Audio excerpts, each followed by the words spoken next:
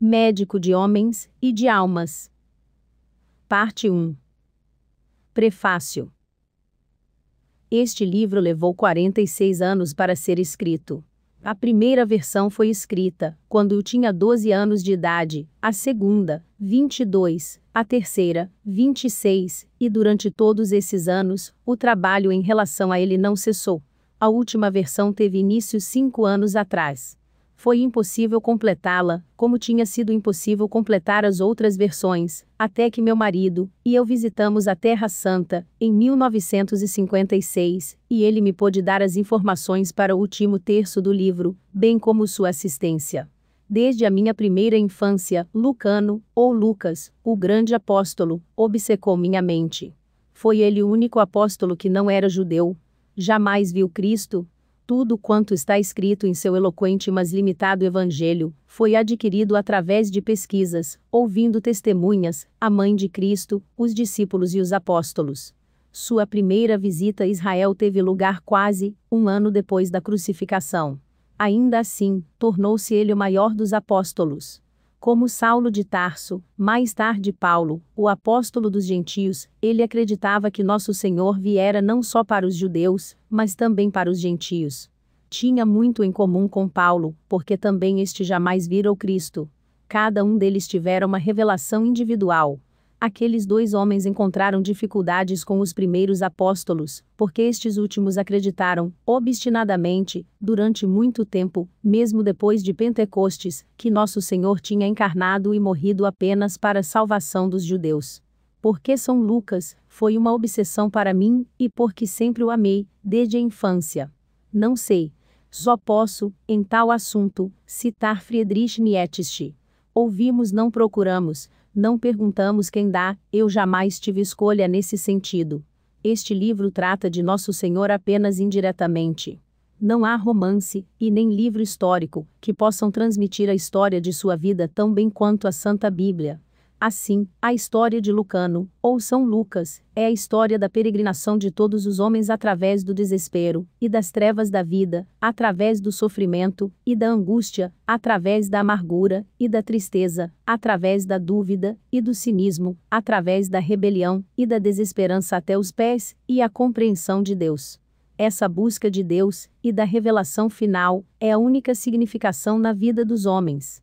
Sem essa busca e essa revelação, o homem vive apenas como um animal, sem conforto e sem sabedoria, e sua vida é inútil, seja qual for seu grau de poder e nascimento.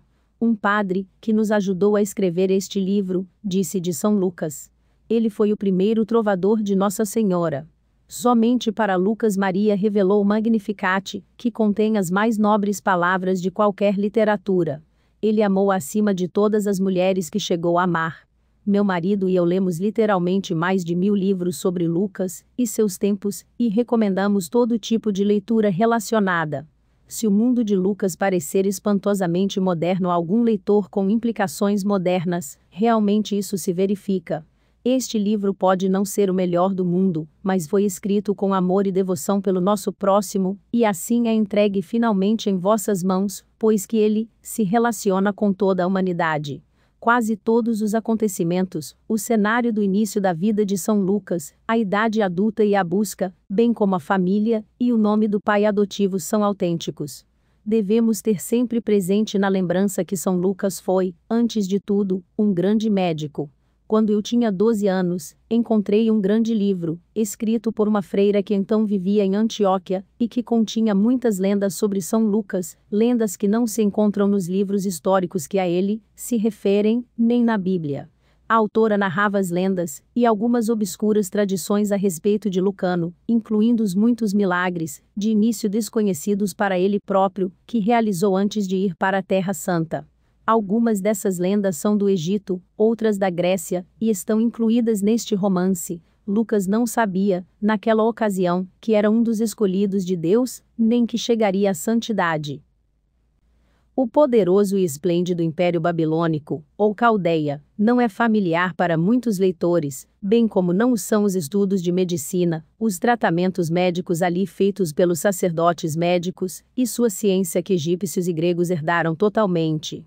Os cientistas babilônios conheciam as forças magnéticas e se utilizavam delas. Tudo isso constava dos milhares de volumes da maravilhosa Universidade de Alexandria, incendiada pelo imperador Justiniano vários séculos mais tarde, num acesso de errôneo zelo. A medicina e a ciência modernas estão começando a redescobrir essas coisas. A época atual ficou mais pobre, em consequência do fervor de Justiniano. Se a ciência e a medicina da Babilônia nos tivessem chegado intactas, nosso conhecimento do mundo e do homem seria muitíssimo mais avançado do que é atualmente. Ainda não descobrimos como os babilônios iluminavam seus navios à noite com um fogo frio, mais brilhante do que a lua, e como iluminavam seus templos com esse mesmo fogo frio. Aparentemente, eles tinham alguma forma de utilizar a eletricidade, forma essa desconhecida para nós e diferente da nossa maneira atual e tosca. Conta-se que eles usavam veículos de terra sem cavalos, iluminados à noite e atingindo grande velocidade. Ver o livro de Daniel. Conta-se também que usavam estranhas pedras, ou uma espécie de minério, para a cura do câncer. Eram hábeis no emprego do hipnotismo e na medicina psicossomática. Abraão, um residente da cidade de Ur, na Babilônia, levou aquele tratamento de medicina psicossomática aos judeus, que o usaram através de séculos. Os magos, os homens sábios do Oriente, que levaram dádivas ao menino Jesus, eram babilônios, embora aquela nação tivesse sofrido um grande declínio muito tempo antes onde as autoridades têm pontos de vista diferentes sobre alguns dos incidentes relatados neste livro, ou sobre o cenário, adotei a decisão da maioria. Aqui é usado exclusivamente o Evangelho de São Lucas, e o que aparece nos Evangelhos de São Mateus, São Marcos e São João não está incluído. Quero agora agradecer ao Dr. George S. Lotkin, de Gigestisville, Nova York, famoso urologista e professor emérito da Escola de Medicina de Buffalo, Nova York, pela inestimável assistência no terreno da medicina, tanto antiga como moderna. Taylor Caldwell. Primeira parte. Seguramente Deus escolhe seus servos ao nascerem, ou talvez antes mesmo do nascimento. Epicteto. Capítulo 1 Lucano nunca soube com certeza se gostava, ou não, de seu pai. Seria possível admirar homens simples e despretensiosos. Seria possível honrar homens sábios. Mas seu pai não era simples nem sábio, embora se considerasse pertencente à classe destes últimos. Guarda-livros e arquivistas tinham sua importância na vida, especialmente se fossem diligentes e soubessem o seu valor como guarda-livros e arquivistas, sem pretender sugerir que possuíam maiores dons. Não era agradável ouvi-los falar em homens inferiores, tomando para isso ares superficiais e altamente cultos. A mãe de Lucano, porém, sorria tão terna e tão misericordiosamente, quando o marido dava voz aos seus ridículos preconceitos, que a luz da sua compaixão abrandava o coração do filho. Eneias lavava as mãos em leite de cabra, pela manhã e à noite, esfregando cuidadosamente o rico fluido em cada ruga, rachadura e junta pelo que conhecia, aos 10 anos de idade, Lucano compreendeu que o pai não estava apenas tentando amaciar e branquear as mãos, mas que pretendia apagar as cicatrizes de sua antiga servidão. Aquilo irritava Lucano, pois já então sabia que o trabalho, não importava de que espécie, não degradava ninguém, a não ser que parecesse degradante ao espírito do trabalhador. Enquanto Enéas sacudia muito delicadamente as mãos, para enxugá-las ao ar ameno da Síria, Lucano podia ver as regiões desfiguradas de suas palmas, e a comprida e feia cicatriz que havia nas costas da fina mão direita, e um fluxo de vago amor e piedade surgia nele. Mas sua compreensão real era ainda infantil. Enéas mostrava-se sob seu melhor aspecto exatamente antes da refeição da tarde, quando servia a costumeira libação aos deuses. Lucano contemplava então, com uma veneração sem palavras. A voz de seu pai, habitualmente tão fina, seca e orgulhosa, tornava-se humilde e hesitante. Enéia sentia-se grato aos deuses, que o libertaram e tornaram possível a casa pequena e agradável, com seus jardins de palmeiras, flores, árvores frutíferas, que o tinham levantado do pó e lhe haviam outorgado autoridade sobre outros homens O fato mais solene, para Lucano, porém, era quando Enéas tornava a encher a taça de vinho, e, com uma nova reverência, derramava o líquido vermelho, lenta e cuidadosamente, e dizia com brandura quase inaudível: Para o Deus desconhecido. As lágrimas enchiam os grandes olhos azuis daquele Lucano de dez anos. O Deus desconhecido, para Lucano, a libação era não só um velho costume dos gregos, mas ainda uma saudação mística, um rito universal. Lucano ficava a olhar a queda das gotas de rubi, e seu coração apertava-se com emoção quase insuportável, como se estivesse testemunhando derramar-se de sangue divino, a oferenda de um sacrifício inescrutável. Quem era o Deus desconhecido, sem nome? Enéas respondia ao filho: era um costume dos gregos oferecer-lhe aquele ritual, e fazia-se necessário manter os costumes civilizados da Grécia, quando se vivia entre romanos bárbaros, embora fossem os bárbaros que governassem o mundo. Suas mãos marcadas de cicatrizes cruzavam-se num gesto inconsciente de homenagem, e seu rosto estreito, tão insignificante e comum, adquiria distinção e gravidade. Era nessas ocasiões que Lucano tinha certeza de amar seu pai, sobre os deuses Lucano fora cuidadosamente instruído pelo pai, que lhes dava seus nomes gregos, e não os nomes toscos, que os romanos lhes atribuíam. Mesmo assim, com seus nomes poéticos e adoráveis, eles eram, para Lucano, simplesmente homens que se tornaram gigantescos e imortais, donos de toda a crueldade, rapacidade, luxúria, ódio e malícia do homem. O Deus desconhecido, entretanto, parecia não possuir os atributos do homem, nem seus vícios, nem suas pequenas virtudes. Os filósofos ensinaram que ele não deve ser compreendido pelo homem de ser Enéas a seu filho, certa vez. Mas ele é poderoso, onisciente e onipresente, e ainda assim está impregnado em cada partícula de quanto existe, seja árvore, ou pedra, ou humanidade. Assim dizem os pensadores imortais de nossa gente. O rapaz é sério demais para sua idade de ser Enéia certa vez a sua esposa, Íris. Entretanto, devemos recordar que seu avô, meu pai, era um poeta, portanto não devo ser demasiado severo no meu julgamento. Iris sabia que o avô poeta era uma das mais patéticas ficções de seu marido, mas concordou, com um movimento de cabeça. Sim, nosso filho tem alma de poeta. Apesar disso, eu o vejo e ouço a brincar com grande vivacidade, em companhia da pequena rúbria.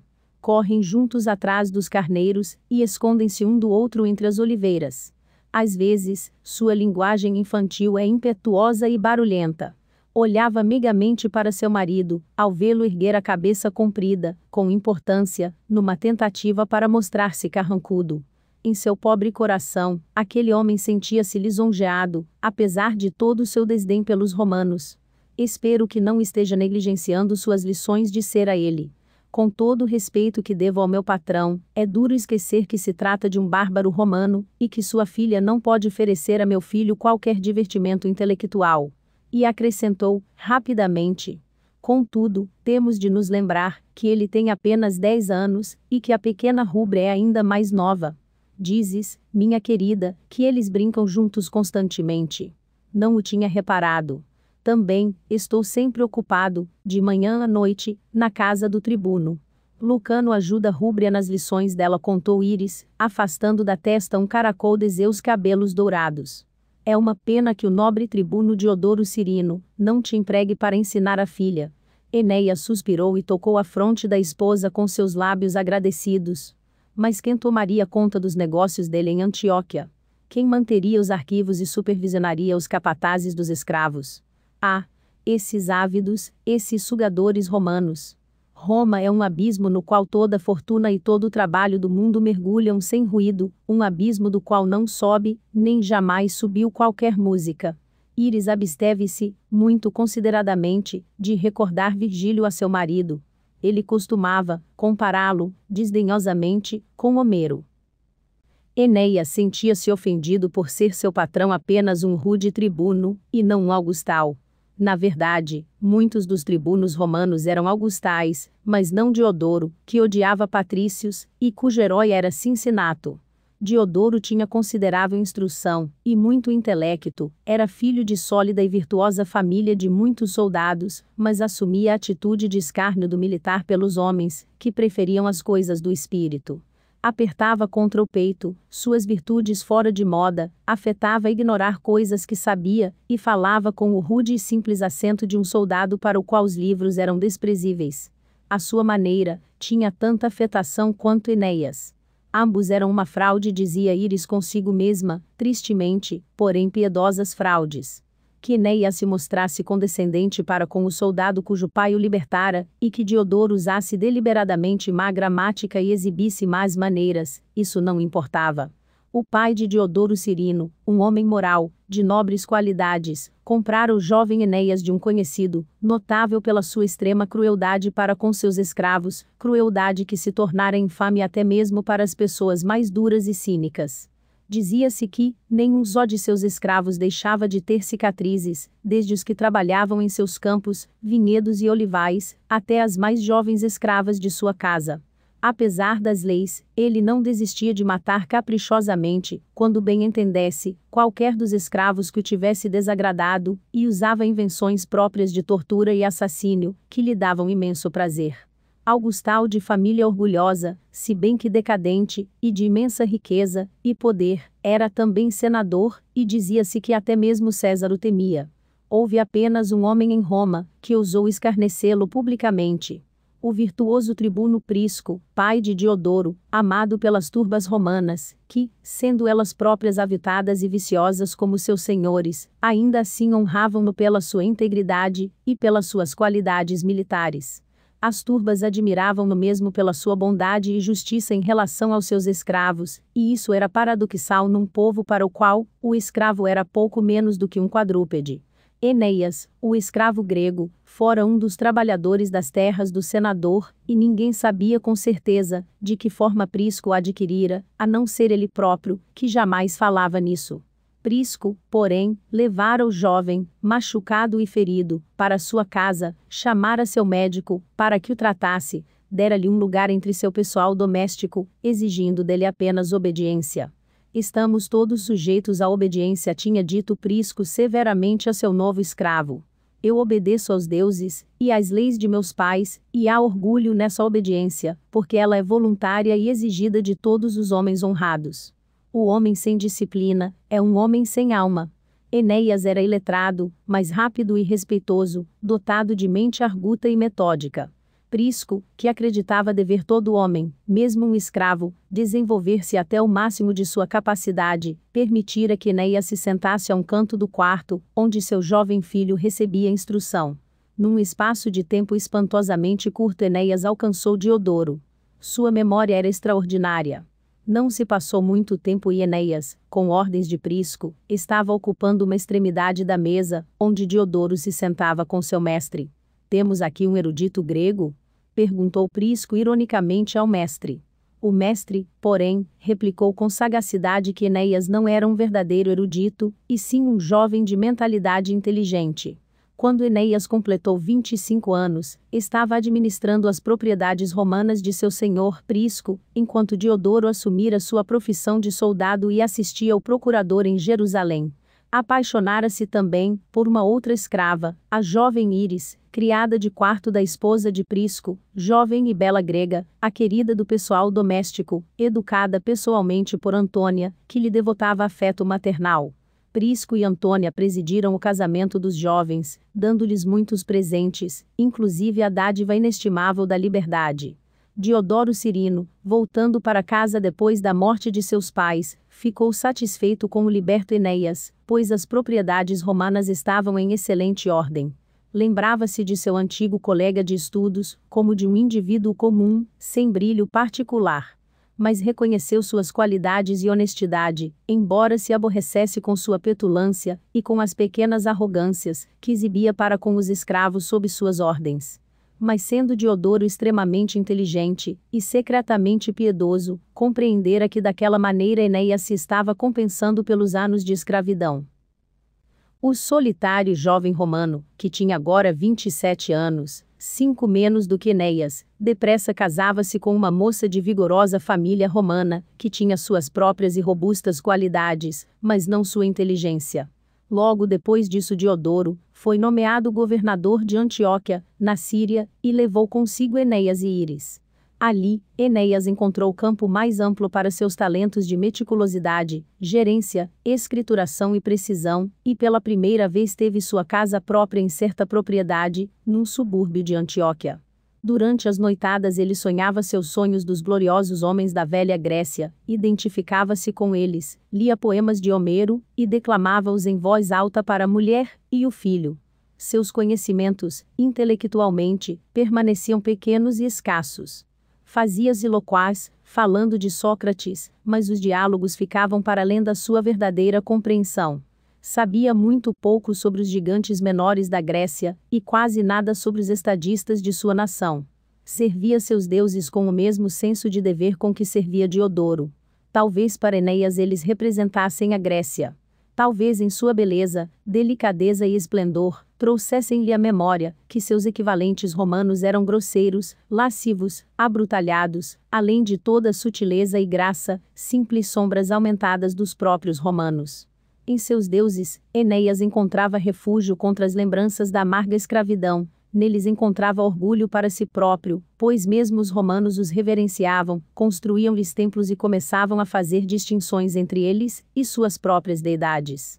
Enéas teria preferido Roma a Antioquia, pois, embora desdenhasse a população romana, gostara do movimento das ruas repletas, da excitação da cidade e da atmosfera de poder. Antioquia, para ele, era estrangeira demais, pois era constantemente invadida por embarcadiços rudes, que vinham de centenas de anônimas e suspeitas regiões bárbaras.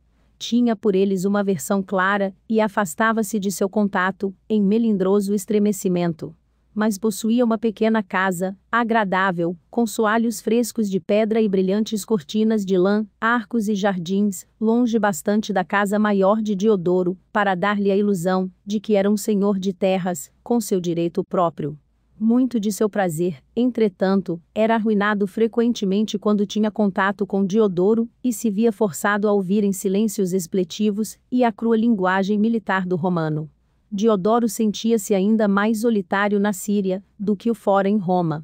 A esposa Aurélia, jovem gorducha e alegre, devotada ao lar, aos escravos, ao marido e à filhinha era piedosa e virtuosa, à maneira das velhas matronas romanas, mas não tinha instrução, sendo apenas esperta, e tão naturalmente destituída de polimento quanto o marido era secretamente refinado tagarelava sobre os escravos, a filha, as modas mais recentes de Roma, falava de esbanjamentos na cozinha, do clima, da saúde da família e dos pratos que ela própria inventava sob os olhos das cozinheiras.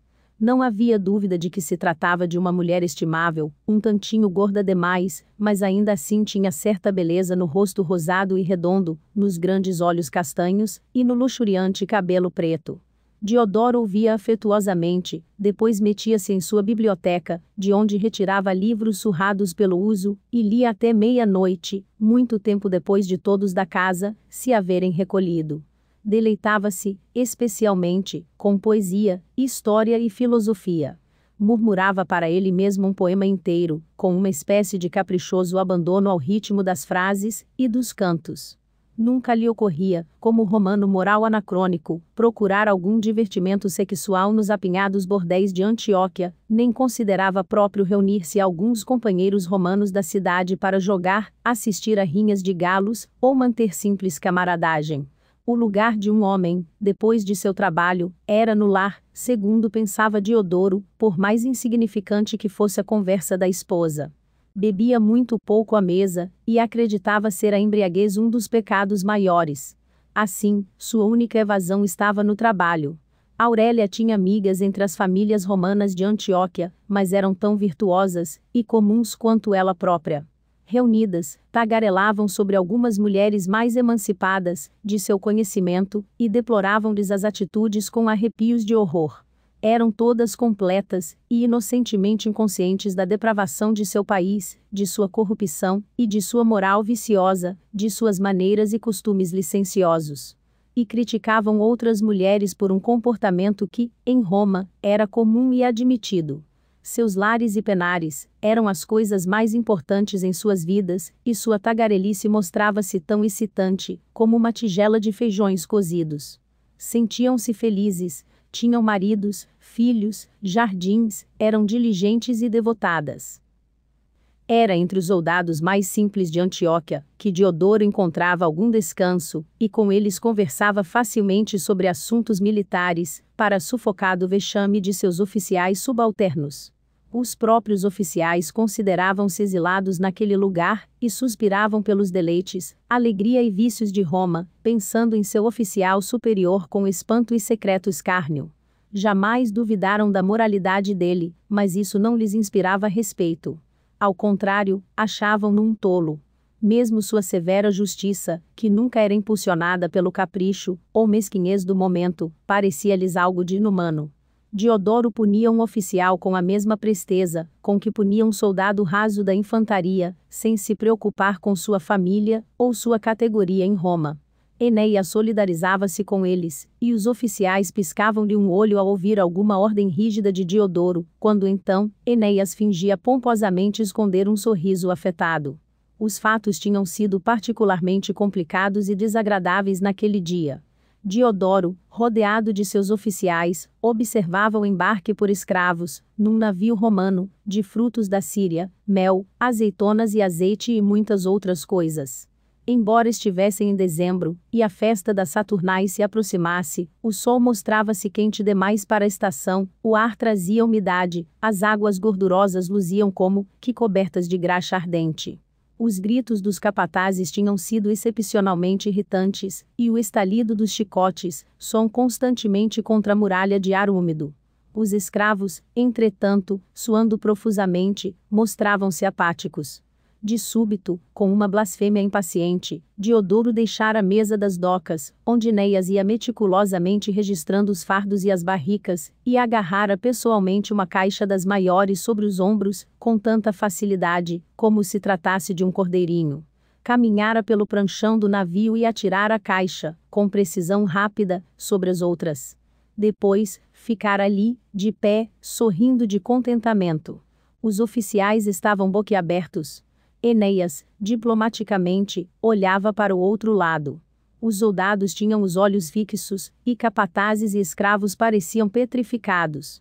Mas Diodoro flexionara os músculos, respirara profundamente, e dissera: Oh, como isto faz bem à alma de um homem! Enéas, o grego, partilhava com todos os gregos o desdém e a aversão ao trabalho manual, e sentia-se escandalizado até o coração. E ele e os outros, ficaram ainda mais escandalizados quando ouviram Diodoro gritar aos escravos: Vocês são homens ou vermes doentes. Isto tem de ser carregado antes que o sol se ponha. Quando não, terão de trabalhar à noite, à luz de tochas. Vamos, tratemos de nos mexer como homens que têm um propósito e acabar com isto. De novo curvara-se, agarrara uma barrica e rolara pelo pranchão. E seus músculos avultavam nos ombros, pernas e braços. Era evidente que se estava divertindo. Os escravos, estimulados pelos chicotes, voltaram correndo ao trabalho e, inspirados por Diodoro, apressaram seus movimentos. Ele começou a cantar, com voz rouca, num ritmo embalador, e os escravos riram-se e cantaram com ele. Muito antes do pôr do sol, o navio estava carregado. Nenhum só oficial ajudara, nem mesmo um soldado raso da infantaria, pois Diodoro indicara, com um olhar desdenhoso, que repudiava sua assistência. Diodoro então, ficou de pé entre seus oficiais, limpando o suor com o lenço que um deles lhe ofereceu e sorrindo amplamente a contemplar o navio. O comandante aproximou-se dele, com respeitoso temor, e Diodoro gritou: Dize aqueles homens damas impotentes de Roma que Diodoro Cirino, filho de Prisco, ajudou pessoalmente a carregar este navio. Dize-lhes, enquanto eles se perfumam com nardo e óleo de rosas, e ouvem alaúdes, e mergulham línguas de roxinol no mel, que viste hoje um romano trabalhar como os romanos outrora trabalharam, e que eles devem trabalhar de novo, se quiserem que Roma sobreviva, e não morra para sempre entre vasos, flores, jovens cantoras, vinhos e elegâncias. Depois, voltara-se para seus oficiais que coravam de vergonha por ele, blasfemara em voz alta e gritara, novamente: Onde estão vossas cicatrizes, vossos músculos, vossos ombros morenos, ó pelintras? Sabeis o que é a guerra, o trabalho, o que é a força dos corpos que vivem sobriamente e com resolução. Para o Hades convosco, todos, por Mercúrio, sois menos homens do que estes pobres escravos. aquilo fora imperdoável. Os escravos tinham sufocado o riso entre eles, e os rostos dos oficiais romanos ensombraram-se ominosamente. Não ousaram responder, entretanto. Diodoro era bem capaz de esbofetear abertamente um rosto atrevido, fizera isso muitas vezes, mesmo diante de soldados rasos e escravos. Infelizmente, o tribuno não havia terminado. Correra os olhos, colérico, pelos seus homens, continuando. Cincinato deixou seu arado, para salvar Roma e não se deteve sequer para lavar as mãos manchadas, ou calçar sandálias nos pés sujos de terra.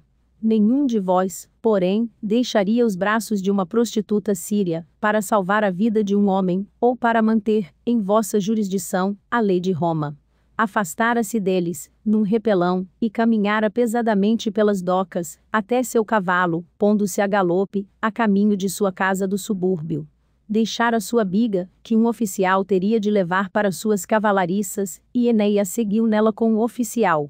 Uma vez em casa, Enéas contara todo o horrível episódio a Íris, que o escutara em silêncio. Esperava ver a esposa horrorizada, mas ouviu sua voz meiga, com seu sorriso adorável.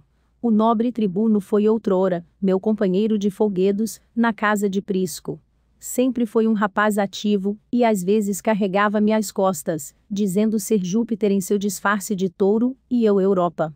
Observando a expressão horrorizada do marido, por um instante, acrescentara, docemente: Ah, éramos crianças nesse tempo, meu querido. Havia ocasiões em que Enéas não podia entender Íris. Disse então, pomposamente: Vejo que não percebes a maior implicação do incrível episódio de hoje.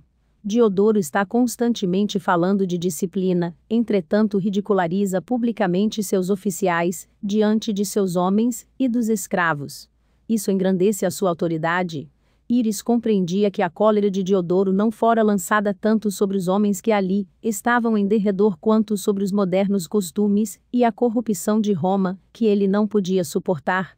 Esse tinha sido o fato que precipitara e aliviara a raiva crônica e sufocada do tribuno. Suspirou e disse ao marido: Tenho certeza de que ele nunca mais fará isso.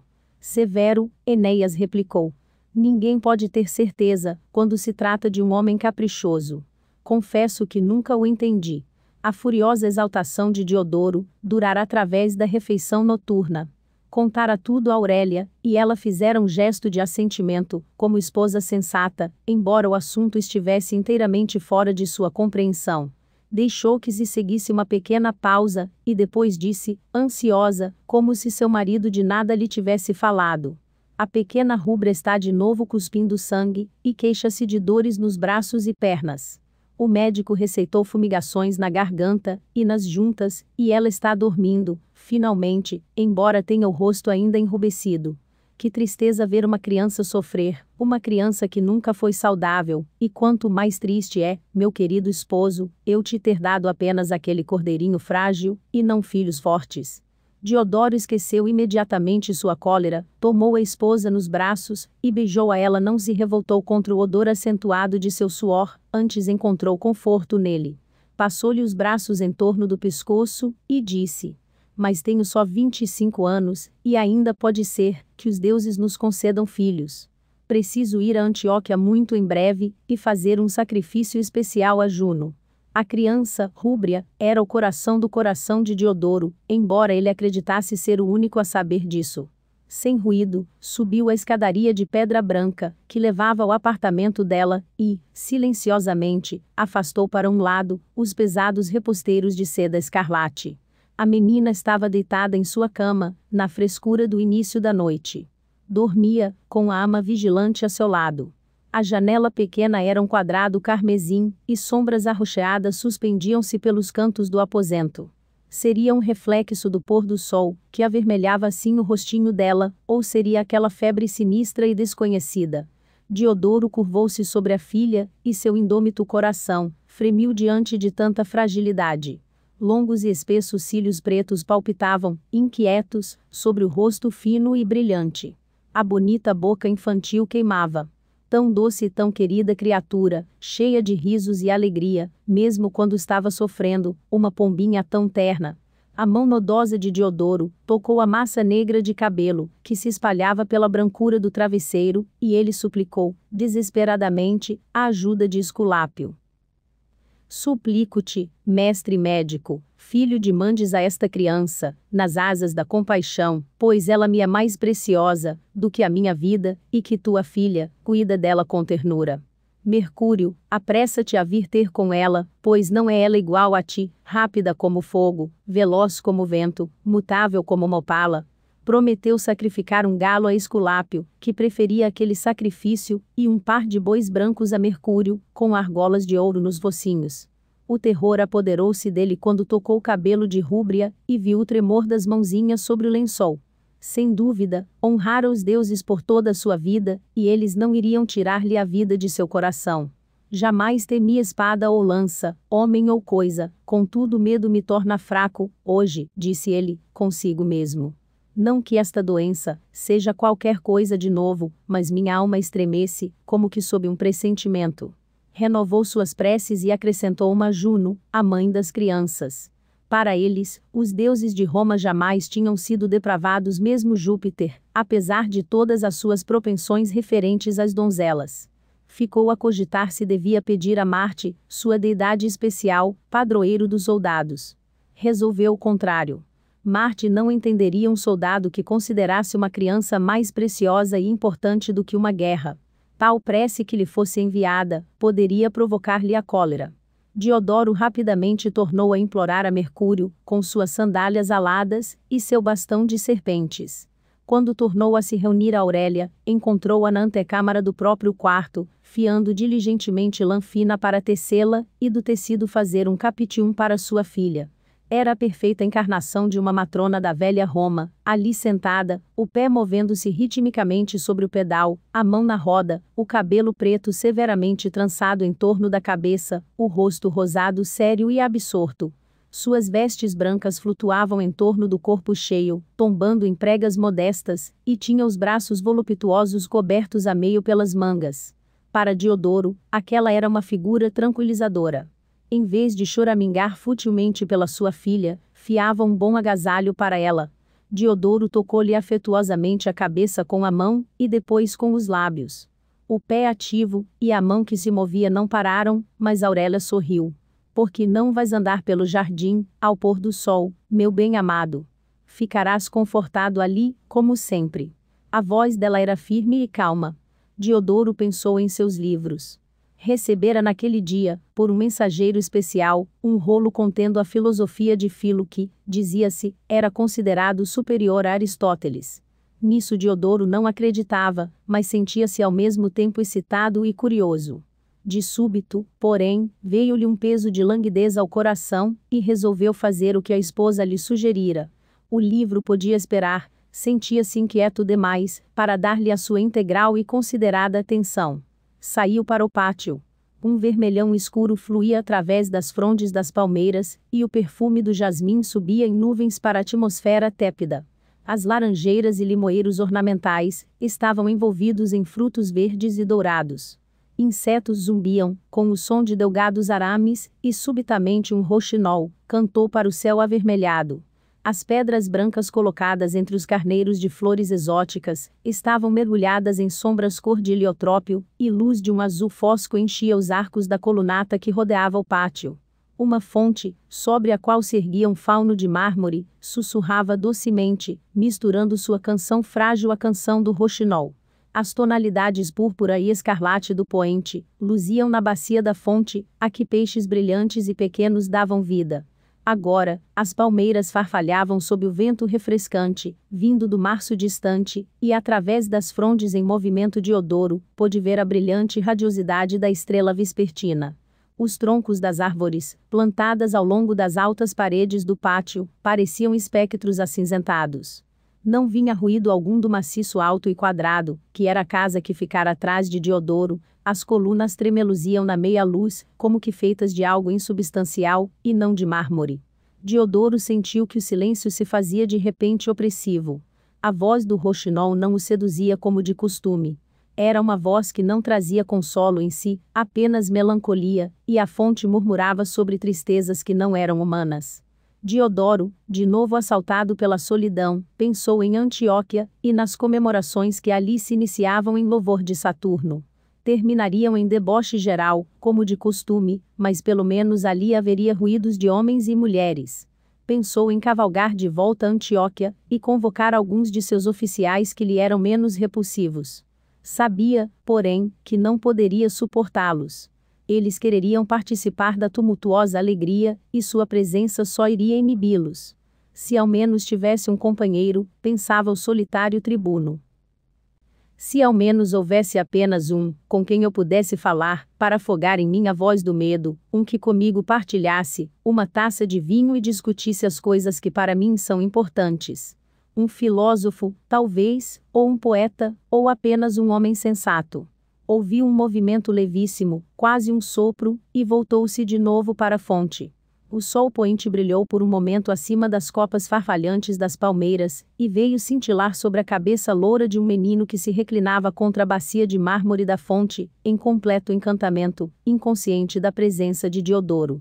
Caminhando silenciosamente, Diodoro avançou para junto da criança, que se sentara no áspero gramado verde e erguia os olhos para as janelas de rúbria. Quando chegou ao lado oposto da ampla e rasa bacia, Diodoro pensou: Ora essa, este é o jovem Lucano, filho do meu liberto Enéas. Seu coração palpitou com uma nostalgia ignota, e ele pensou em Íris, sua antiga companheira de folguedos, Íris com seu cabelo áureo, seus maravilhosos olhos azuis, sua macia carne branca, seu rosto cheio que fazia covinhas, e seu fino nariz grego. Ouviu, como se viesse de corredores compridos e ensombrados, o som de seu riso de criança, o tom interrogador da sua voz ao chamá-lo. Iris, para ele, não existira nem mesmo, como companheira de brinquedos que se recorda, depois de seu casamento com aquela impertigada e precisa mediocridade de um Enéas.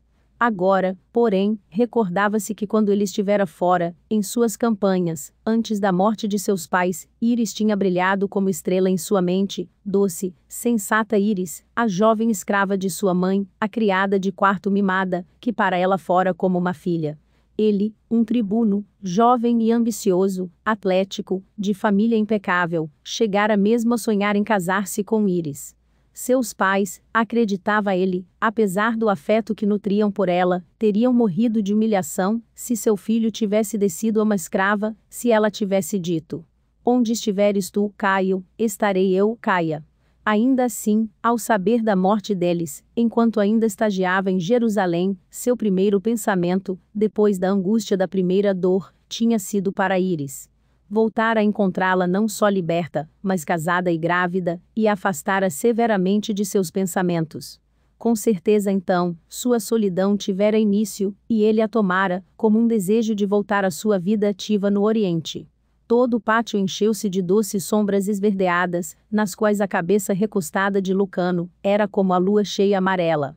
Diodoro, que podia ver-lhe apenas o perfil delicado, pensou: é a face do filho de Íris. Jamais se sentira interessado pelas crianças, a não ser pela filha rúbria, e, embora desejasse filhos, pensava neles como em jovens soldados, como seus herdeiros. Agora fixava os olhos em Lucano, forçando-os através da meia luz colorida, e de novo seu coração estremeceu e encheu-se de ternura. Lucano estava sentado em silêncio, imóvel, ainda contemplando o quadrado, que se apagava, da janela de rúbria. Usava leve túnica branca, suas pernas longas eram tão pálidas que se assemelhavam ao alabastro e dobravam-se sob seu corpo. Em suas mãos havia uma pedra grande, de feitio e colorido pouco comuns, que a luz nublada inquietava. Toda a atitude de Lucano era de arrebatamento religioso, e ainda assim ele estava absolutamente imóvel. Seus lábios rosados entreabriam-se, e seus olhos mostravam-se repletos de estranha tonalidade azul. Era como se ele estivesse ouvindo algo, e Diodoro, supersticioso como todos os romanos, observava-o com uma espécie de medo, nervoso, a pele arrepiando-se. Falou, de repente, em voz alta: És tu, Lucano? O menino não se sobressaltou. Moveu-se um pouquinho, apenas, e voltou para Diodoro seu rosto extasiado. Não saltou sobre os pés, apenas ficou ali sentado, a pedra nas mãos. Era como se não estivesse de forma alguma vendo o tribuno. Diodoro ia falar de novo, mais asperamente, quando o menino sorriu e pareceu vê-lo pela primeira vez. Eu estava rezando por Rúbria, disse, e a voz era da jovem Íris. Diodoro deu a volta à fonte, hesitou, depois acocorou-se e olhou com firmeza para o menino, diante dele sentado, em tão absoluto repouso de músculos, e então absorto em levo.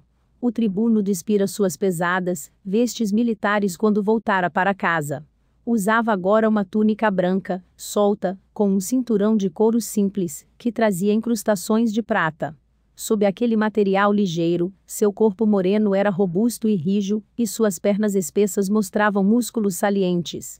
Cruzou os braços fortes em torno dos joelhos e contemplou Lucano, que lhe sorria com serenidade simples. Lucano não se mostrava, nem atemorizado nem tomado de respeito pelo soldado. Olhava o altivo rosto moreno, agudo e severo, tão tranquilamente como teria olhado para seu pai, Aquele queixo áspero e saliente não o alarmava, como não o alarmavam os olhos negros e penetrantes, acomodados sob sobrancelhas escuras e fartas. Diodoro, porém, confrontado com a verdadeira imagem da criança que outrora conhecera, sentiu-se consciente de sua própria cabeça redonda, coberta de cabelo preto e rígido, tosquiado e sem brilho, e da força bruta de seu corpo disciplinado. O menino nada tinha a fazer naquele pátio, pensou, automaticamente e então ficou envergonhado, recordando-se de Íris. Mas que dissera ele? Eu estava rezando por Rúbria. As duas crianças eram companheiras de brinquedos, tal como ele e Íris o foram. Diodoro abrandou sua voz rascante. Estás rezando por Rúbria, menino? Ah, ela bem precisa de tuas preces, a pobrezinha. Sim, senhor, respondeu Lucano, seriamente. A que Deus estás rezando? perguntou Diodoro. Com certeza, pensou ele, os deuses ficam especialmente enternecidos com as orações dos inocentes. E um pouco de sua dor foi aliviada. Lucano disse: Ao Deus desconhecido. Os olhos escuros de Diodoro faiscaram, surpreendidos. Lucano continuou: Meu pai ensinou-me que ele está em toda parte e em todas as coisas. Estendeu para Diodoro a pedra que tinha nas mãos e disse simplesmente: Encontrei isto hoje. É muito bonita.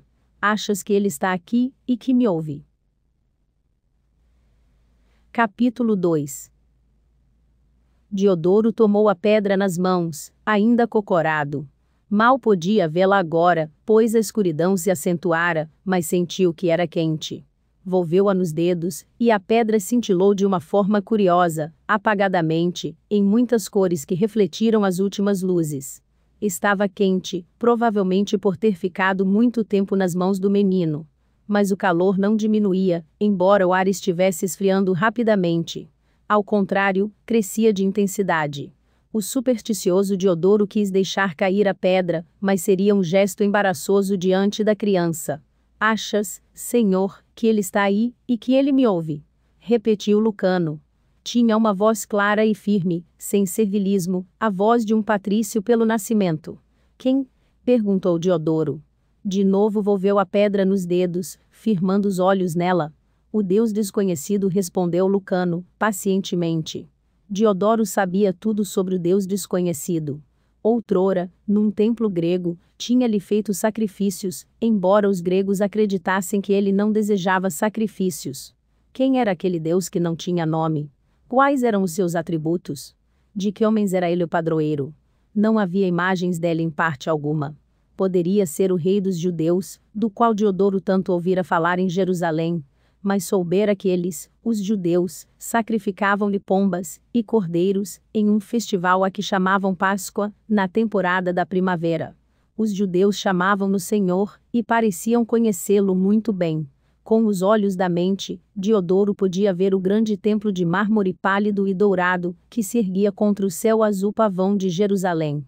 Lucano era grego, não judeu.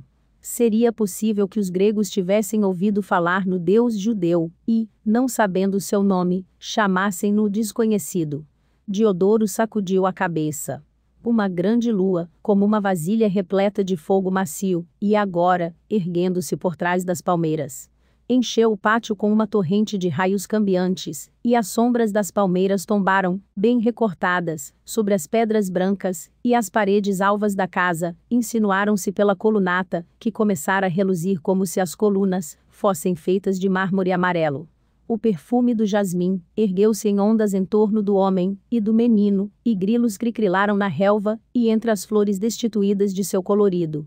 Algures, fora do alcance da visão, um animal de carapaça passou raspando pelas pedras. Diodoro recordou-se do nome, que ouvira de um príncipezinho judeu, Adonai, e disse a Lucano: Seu nome é Adonai?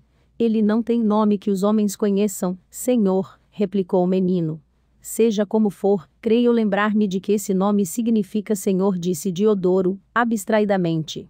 É o Deus dos judeus. Mas o Deus desconhecido é o Deus de todos os homens, falou Lucano, animadamente. Ele não é Deus apenas dos judeus, mas dos romanos, e dos gregos, dos pagãos, dos escravos, dos césares e dos homens selvagens das florestas e das terras ainda desconhecidas. Como sabes disso, criança? indagou Diodoro, com um ligeiro sorriso.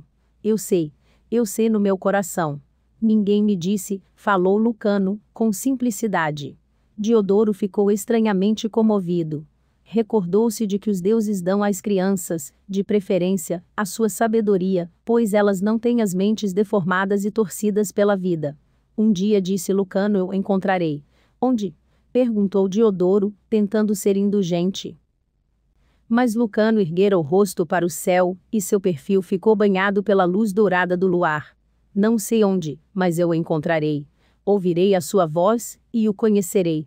Ele está em toda parte, mas eu hei de conhecê-lo em particular, e ele falará comigo, não só na lua, e no sol, nas florestas e nas pedras, nos pássaros e no vento, nas auroras e nos poentes.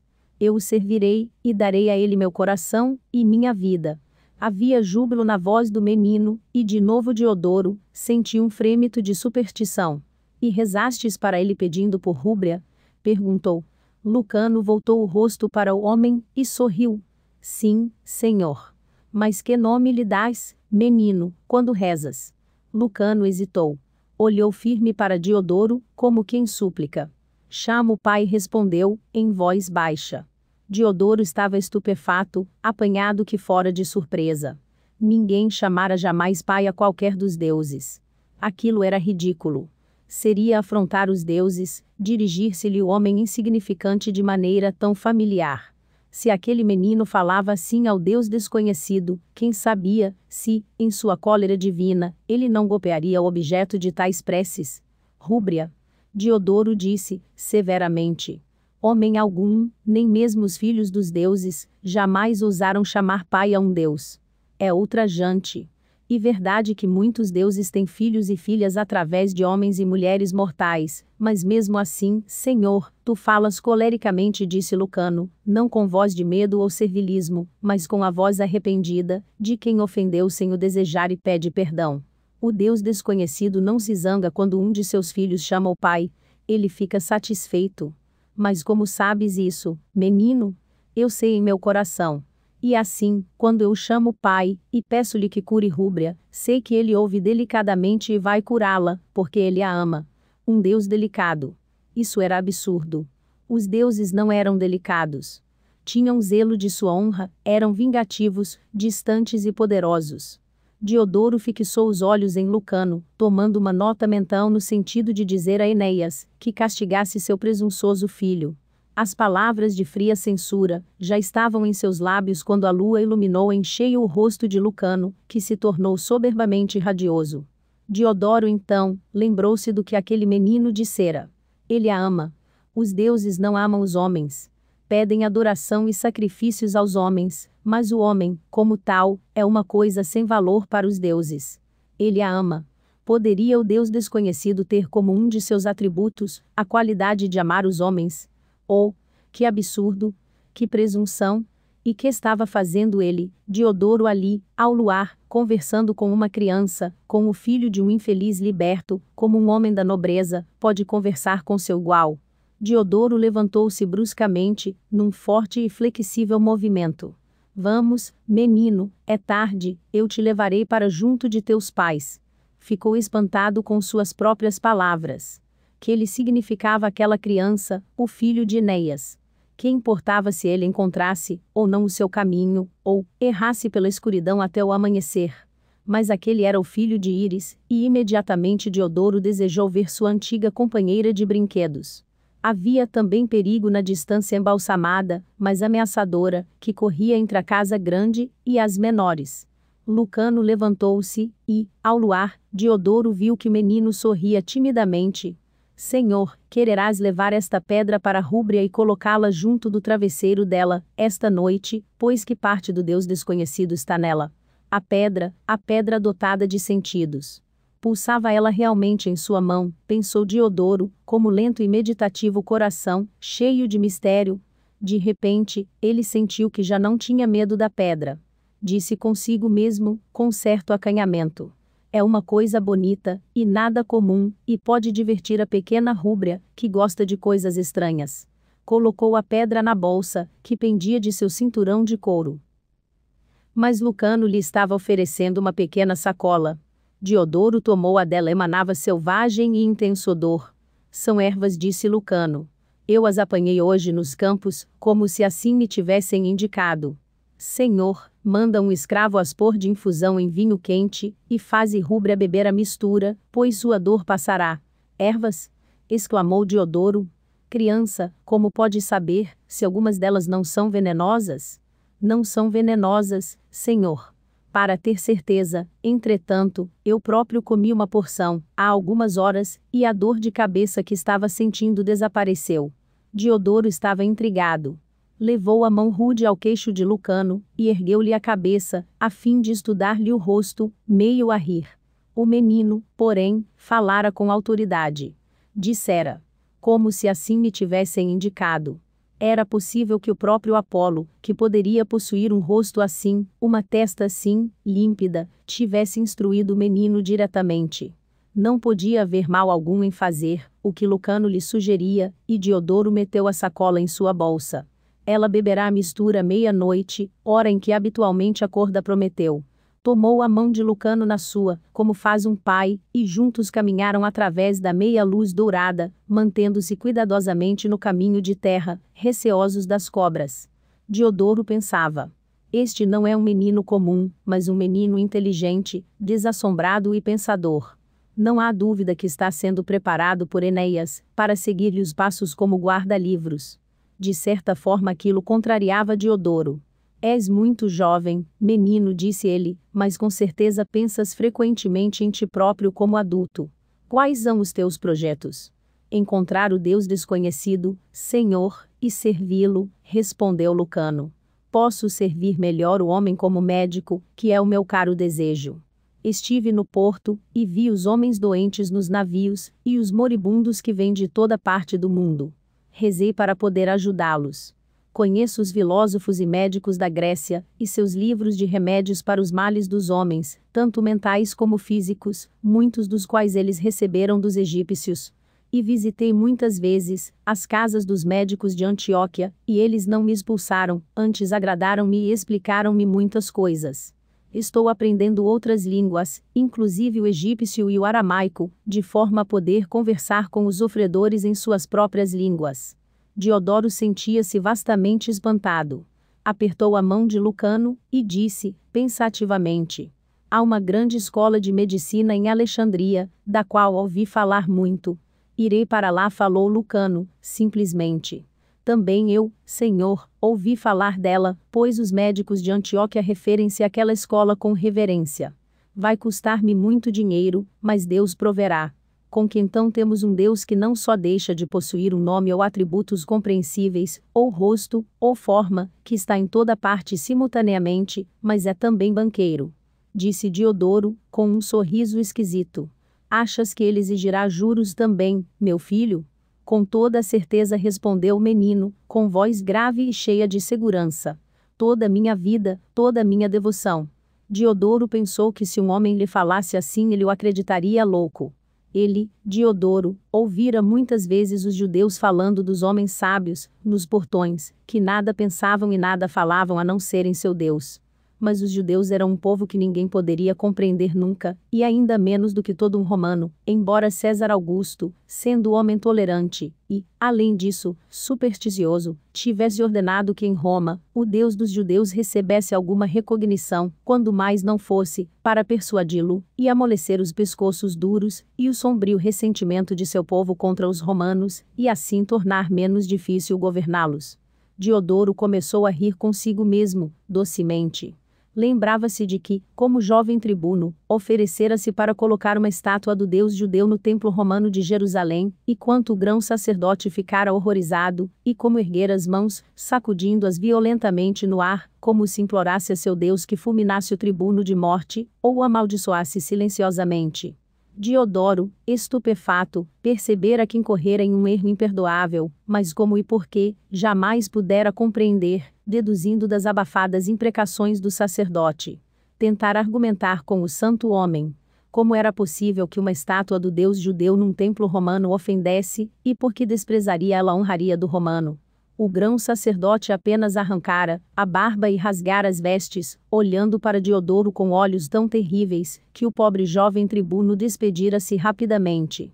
Aquilo confirmara sua crença hesitante, de que os judeus eram loucos, especialmente seus sacerdotes. Lucano, porém, era grego, não judeu, embora falasse em devotar sua vida ao Deus. Desconhecido do mesmo modo que os judeus falavam em devotar as suas ao seu próprio Deus. Diodoro recordava-se, como nas ruas de Jerusalém vira homens chamados rabis, seguidos de multidões humildes, que ouviam com ansiedade as suas palavras de sabedoria. Havia alguns com fama de milagreiros, e aquilo interessara Diodoro, que acreditava fervorosamente em milagres divinos mas não acreditou naqueles homens, porque quase sempre andavam descalços, andrajosos e eram desesperadamente pobres, apesar de seus olhos fulgurantes e de suas palavras estranhas e incompreensíveis. Andando em direção a Lucano, ele balançou a cabeça. Devias visitar o templo dos judeus em Antioquia, disse divertido. Eu o visito, Senhor, respondeu, serenamente, Lucano. Sim, exclamou Diodoro, afastando um galho de arbusto espinhoso do menino, como teria feito com sua filha. E o Deus deles é o Deus desconhecido? Sim, Senhor, estou certo de que é, mas ele não ama todos os homens. Ama apenas os judeus. Ele ama todos os homens, disse Lucano. Estás enganado, rapaz. Ofereci-me para colocar uma estátua dele no templo romano de Jerusalém, e a estátua foi recusada. Diodoro riu e continuou os judeus não fazem objeção a que entres em seu templo. Ah, agora recordo. Em Jerusalém o templo tinha um lugar chamado Pátio dos Gentios, mas eles não podiam entrar no santuário interno dos judeus. Eu presto culto no Pátio dos Gentios, na sinagoga de Antioquia, disse Lucano. Que menino estranho! Mas Diodoro começava a pensar na escola de medicina de Alexandria. E disse: penso que o Deus desconhecido arranjou uma forma de poderes estudar medicina, Lucano. E riu de novo, penosamente. Era homem justo, às vezes caridoso, mas, tal como os antigos romanos, prudente no que se referia a dinheiro, acreditando que duas moedas de ouro deviam voltar para um homem acompanhadas de duas outras. Tinham agora alcançado uma clareira diante dos jardins da casa de Enéas. Altas palmeiras estendiam-se contra a lua, e o ar da noite estava cheio dos perfumes das flores. No meio delas levantava-se, brilhante, a casa branca do guarda-livros, pequena, baixa e compacta, marcada com as sombras das palmeiras. Uma luz fulgurava, vinda da porta aberta, e quando Diodoro e Lucano se aproximaram dela ao portal, recortou a figura bem modelada de uma jovem mulher, cujos cabelos soltos se tornaram uma nuvem dourada contra o resplendor de luz que vinha por trás dela. Estava vestida com o traje branco, simples, da mulher que passa seu tempo em casa, e chamou ansiosa: Lucano? És tu, querido? Sou eu, mãe, respondeu Lucano. Iris desceu para o relvado, depois parou, vendo quem estava acompanhando seu filho. Meus cumprimentos, Iris, disse Diodoro, a voz grossa e baixa em sua garganta. Pensava nas palavras de Homero. Filha dos deuses, divinamente alta e divinamente loura. Meus cumprimentos, nobre Diodoro respondeu Iris, hesitante. Ele se dirigira a ela com a delicadeza com que um homem se dirige à esposa de um de seus pares, e ainda assim a delicadeza chegou-lhe ansiosamente, com uma tonalidade de esperança. Por uma razão qualquer, os olhos de Iris arderam com as lágrimas, e ela recordou o companheiro de brinquedos de sua infância. Fora um rapaz cândido e corajoso, tão verdadeiro e bom, tão honrado, tão cheio de afeição por ela, a moça não o vira, a não ser de longe, desde muito tempo, e, a partir do momento em que se casara com Enéas, ele mal tomara conhecimento de sua existência. Enéas apareceu no limiar da porta, e depois desceu os degraus. Vendo Diodoro, inclinou-se. Bem-vindo sejas ao nosso pobre lar, Senhor, disse ele, com a voz trêmula de um homem que se sente dominado. Isto não é uma casa pobre, falou Diodoro, irascivelmente. Era a casa do antigo legado de Antioquia, antes que a minha casa fosse construída, e ele não a considerava sem valor. Empurrou Lucano em direção de seu pai, e disse em voz áspera: Trouxe teu menino para casa. Estava em nosso jardim, e poderia ser mordido por uma cobra, ou por um escorpião, depois que o sol desceu. Enéas era todo confusão e abjeto medo. Ofendera Diodoro e a cólera dele voltava-se agora contra seu filho. Não te parece importante que tua mãe tenha estado aflita por tua causa, pronta para ir procurar-te pela escuridão? Não te parece importante teres afrontado o nobre tribuno? Ele não me afrontou, interrompeu Diodoro. A luz que saía da porta vinha de esguelha sobre o rosto bonito e desconsolado de Íris. Diodoro desejava poder colocar no ombro dela a mão consoladora. A pequena rubra é sua companheira de brinquedos. Encontrei-o no jardim rezando embaixo das janelas dela, pois a menina está doente. Tenho motivo para lhe ser grato. Olhou para Iris e viu que ela começara a sorrir, em agradecido alivio. E falou ao trêmulo Enéas, lutando para manter um tom mais natural. Um menino bem pouco comum, este teu, Enéas, e foi um privilégio conversar com ele. Hesitou. Tenho a garganta seca. Posso tomar um copo de vinho? Enéas estava novamente estupefato. Mal podia acreditar em seus próprios ouvidos. Olhou para Lucano com respeito. Aquele era o filho do qual o tribuno falara, e era por causa daquele filho que o tribuno condescendera em pedir vinho na casa de seu liberto. Enéas sentia-se estonteado. Pôde apenas murmurar algo e afastar-se para um lado, até Diodoro entrar em sua casa. Olhou rápida e estupidamente para Íris, mas ela passara o braço no pescoço do filho e o levava para frente. Enéia seguiu-os, os joelhos trêmulos. O tribuno trouxera o menino para casa, quando lhe bastaria expulsá-lo de seus jardins, ou, se estivesse bondosamente disposto, mandar um escravo com ele, pela escuridão. Diodoro recuperara seu bom humor. Ficou de pé na pequena, mas de forma alguma humilde sala e examinou-a expansivamente. Sobre a mesa, havia flores numa vasilha e espalhadas em vasos pelo soalho, que era de mármore. As portas que davam para as cozinhas e os quartos tinham cortinas de lã de alegres coloridos, drapejando a brisa da noite, que entrava pelas janelas pequenas e pela porta. Aqui e ali Diodoro reconheceu, entre o mobiliário deixado pelo antigo administrador, cadeiras e mesas, da casa de seu pai, dadas a Enéas quando de seu casamento com Íris. Diodoro olhou, em particular e com prazer, para uma cadeira. Era de ébano, marchetada de marfim, e fora uma das prediletas de seu pai. Havia uma pequena mesa de limoeiro precioso, reluzindo à luz da lâmpada, e que pertencera a Antônia. Sobre ela ficava a lâmpada de prata, com sua língua brilhante de chama. O escravo que designei para ti faz bem, o seu trabalho, disse Diodoro, cada vez mais satisfeito sentou-se na cadeira de ébano e estendeu as pernas morenas e musculosas diante de si, com toda a atitude natural de um soldado. E Enéas, de pé diante dele, incerto, formalmente vestido com comprido traje branco, ele, o guarda-livros, parecia mais o patrício, com suas feições finas, e face e cabeça estreitas, do que o franco tribuno sem cerimônia metido em sua túnica ocasional, curta, Ora essa, pensou Diodoro, a pobre criatura até mesmo, possui uma toga para usar no seio secreto da família. Não tenho vinho digno de vós, senhor disse Enéas. Íris, porém, deslizou graciosamente para trás da cortina e trouxe uma bilha e duas taças de prata, que Diodoro também reconheceu como de sua infância. Movendo-se como adorável estátua animada, colocou os copos na mesa de limoeiro e serviu o vinho.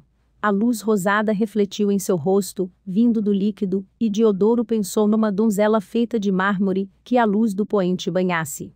Desejava tocar seu cabelo miraculoso, que com tanta facilidade tocara na meninice. Podia sentir de novo seu sedoso comprimento, e todo ele era desejo pensou que sua mãe, Antônia, devia ter se oposto com mais vigor ao casamento de Íris com Enéas. Não sou especialista em vinhos, graças aos deuses, disse Diodoro. Para mim, uma vindima ou outra são o mesmo. Estendeu a mão para a taça, e Íris deu-lhe com seu sorriso inefável, pois Enéas ainda estava estonteado demais para ter movimentos voluntários. Que é isso, não vai beber comigo? perguntou Diodoro em tom enfático. Enéas agarrou a taça, e algum vinho derramou-se sobre seus dedos trêmulos. Lucano, obedecendo a um leve gesto materno, inclinou-se diante de Diodoro e, respeitosamente, desejou-lhe boa noite. O tribuno deu um sorriso grave e o menino deixou a sala. Diodoro fez uma pequena libação aos deuses, e Enéas, ainda muito pálido, também fez uma libação. O tribuno ficou a observar, enquanto o grego derramava mais vinho, seus lábios movendo-se reverentemente. Ah, sim, disse Diodoro. O deus desconhecido. É um costume grego, falou Enéas, como quem se desculpa. Excelente costume, disse Diodoro, e seu rosto altivo tornou-se quase afável. Voltou a cabeça e viu que Íris acompanhara o filho sentiu-se profundamente desapontado, mas, como um antigo romano, aprovou isso também. Dize-me, Enéas falou, estou interessado por esse teu filho. Quais são as tuas esperanças para o futuro dele? Posso sentar-me, nobre Diodoro? perguntou Enéas. Sentou-se rigidamente numa cadeira, a alguma distância de seu hóspede.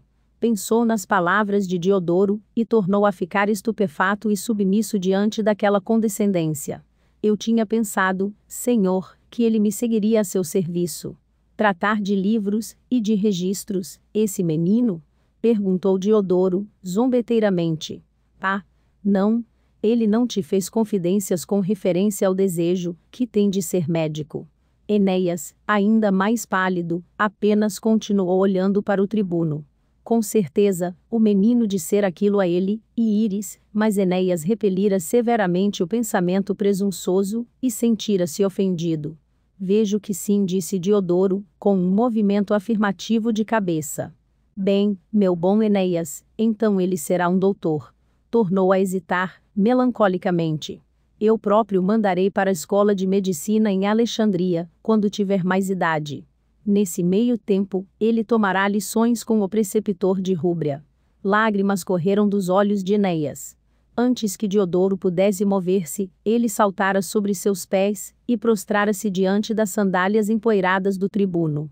Não conseguia falar, sequer, mas apenas murmurar estonteadamente sua gratidão e incredulidade. Vamos, vamos, homem, disse-lhe Diodoro, que nunca tolerara que lhe agradecessem alguma coisa. Não tenho filho meu, e esse é o rapaz que eu devia ter tido. Será médico.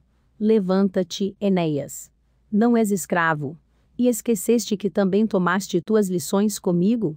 Ele sabia exatamente quais eram as pretensões de Enéas, e como ele considerava seu senhor um bárbaro, e a si próprio, um filósofo exilado de um país que jamais vira, e sabia que mentalidade pequena, embora honesta, aquele homem possuía. Jamais chegaria Enéas a esquecer que fora escravo?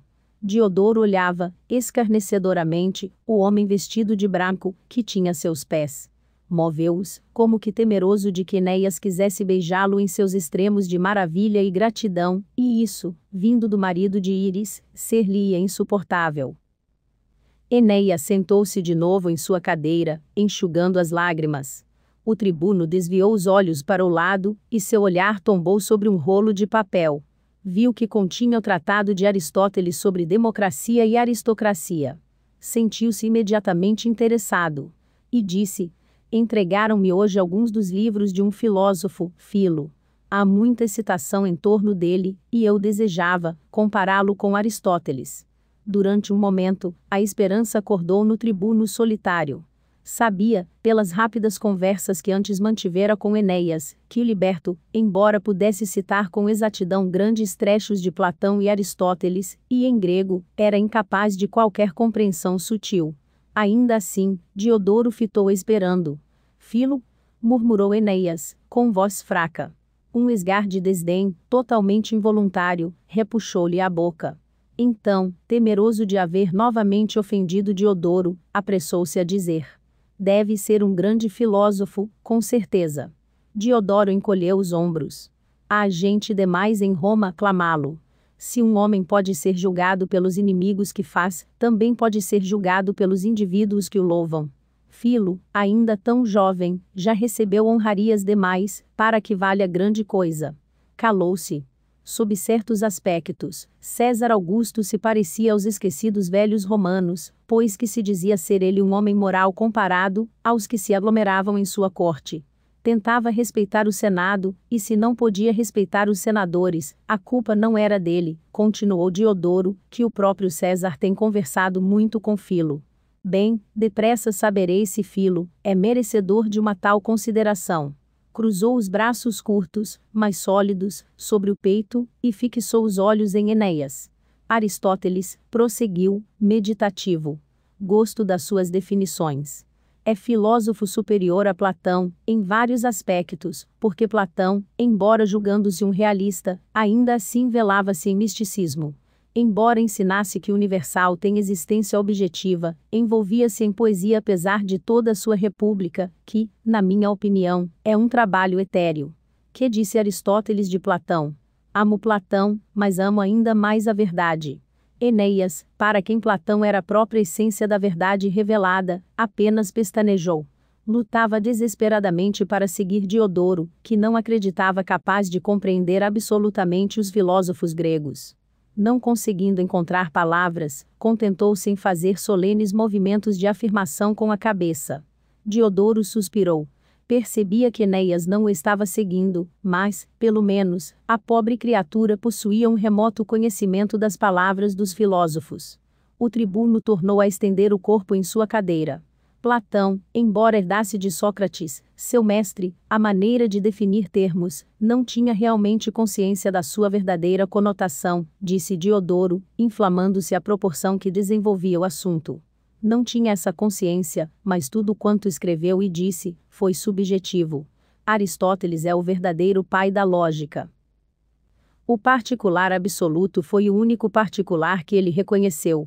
Era completamente objetivo meditou por um momento, as sobrancelhas carregadas, e depois continuou. Platão foi um paradoxo. Exigindo precisão, tropeçou, finalmente, no mar de suas generalidades. É interessante recordar que Aristóteles foi outrora um soldado, e um soldado sabe que absolutos, tais como disciplina, honra, obediência, patriotismo e respeito pela autoridade. Evidentemente, a absolutos confirmou Enéas complacente em nome dos deuses, que viriam a ser esses absolutos. Os olhos ferozes de Diodoro reluziram quase amavelmente, voltando-se para o seu liberto. Bocejou, bebeu até a última gota de seu vinho, e recomeçou. Também é interessante recordar que Aristóteles pertenceu à fraternidade médica de Asclepíades. Isso me leva de novo a Lucano. Penso que ele será um filósofo, além de médico não lhe negues o acesso aos teus preciosos manuscritos, Enéas. Enéas esqueceu quem era por alguns momentos, e disse, com orgulho: Ele já tem esse acesso. Eu lhe dou lições, pessoalmente, Senhor. Muito bem. Diodoro esticou o corpo e levantou-se. Enéas saltou sobre os pés. Deus proteja o pequeno dos confusos ensinamentos de seu pai, pensava Diodoro despediu-se amavelmente de Enéas, depois fez seu solitário caminho de volta a casa, sob o luar que se tornava alvo e forte. Começou a pensar sombriamente em suas frustrações. O coração doeu-lhe e ele recordou Íris. Mesmo que desejasse comportar-se como os suínos imundos da moderna Roma, sabia que tal coisa estava além de suas possibilidades.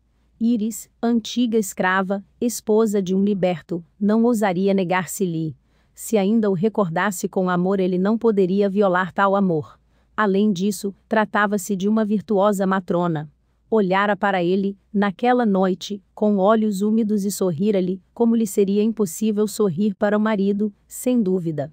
Diodoro pensava na criada de quarto de sua mãe com ternura reverente, o que era algo tão diferente de seu amor por Aurélia, que ele não poderia acusar-se de licenciosidade mesmo em pensamento. Comparava Íris com Diana, a inviolada, a eternamente pura olhou para a lua e, em sua profunda simplicidade, implorou a deusa que protegesse aquela grega que ele tinha amado e que ainda amava. Sentiu com aquilo algum conforto. Não se lembrou do menino, de Lucano, até o momento em que entrou em casa e encontrou Aurélia tomada de ansiedade pouco comum nela. A pequena rubra havia acordado e gemia de dor, chamando pelo pai. Capítulo 3 juntos, de mãos dadas, subiram a escadaria e entraram no quarto da menina. Duas lâmpadas ardiam num pequeno cômodo sobressalente e aumentavam o calor que ali se estagnava. Diodoro sentiu-se abafado, quase sufocado, depois do frio ar noturno que encontrara lá fora. Havia ali um estranho e desagradável odor.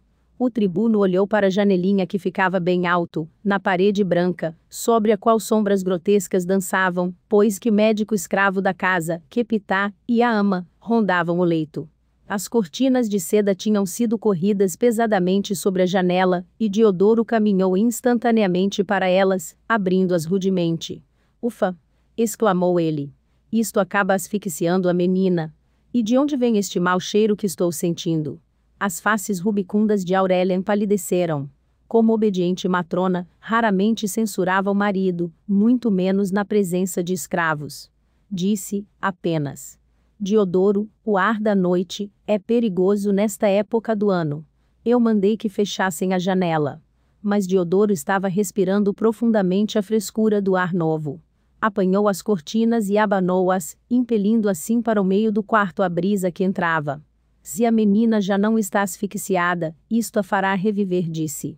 Fez sinal à ama, para que continuasse sacudindo as cortinas, e ela, com os olhos dilatados de susto, tratou alvoroçadamente de obedecer. Diodoro aproximou-se da cama. Rúbria sorriu-lhe, lá de seu travesseiro. Mas um sorriso doloroso, e a menina sacudia a cabeça escura, inquieta, estendendo a mãozinha para o pai.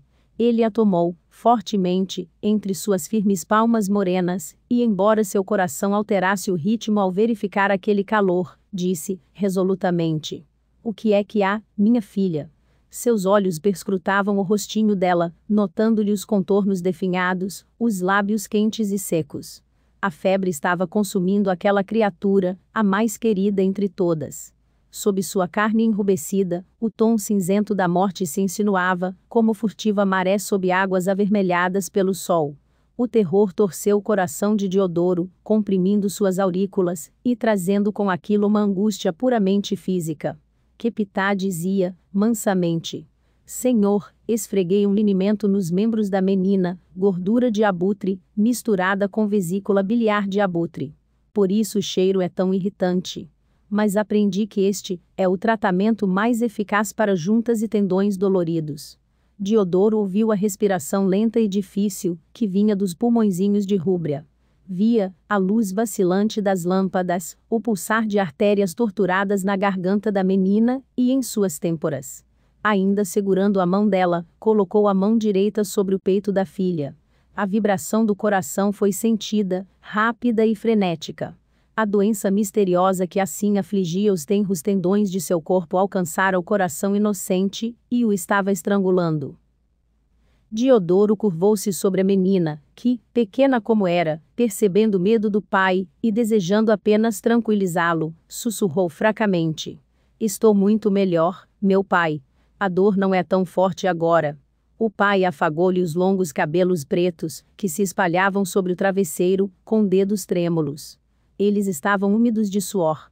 Afagou a face ardente, a curva delicada do pescoço.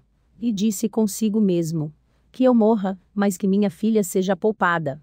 Torcei meu corpo e atirai-o no pó, mas que minha filha seja poupada. Para mim o fogo, e a espada de todas as maldições dos deuses, mas que minha filha seja poupada. Um grande e terrífico silêncio tombou sobre ele. O médico estava misturando uma poção num cálice, e um momento depois, chegava aos lábios de Rúbria. Ela, porém, teve náuseas. Diodoro fez sinal ao médico, para que se afastasse e tomou o cálice na mão. Obedientemente então, e controlando as náuseas, a menina bebeu, lentamente, gota a gota, parando com frequência para respirar em austos.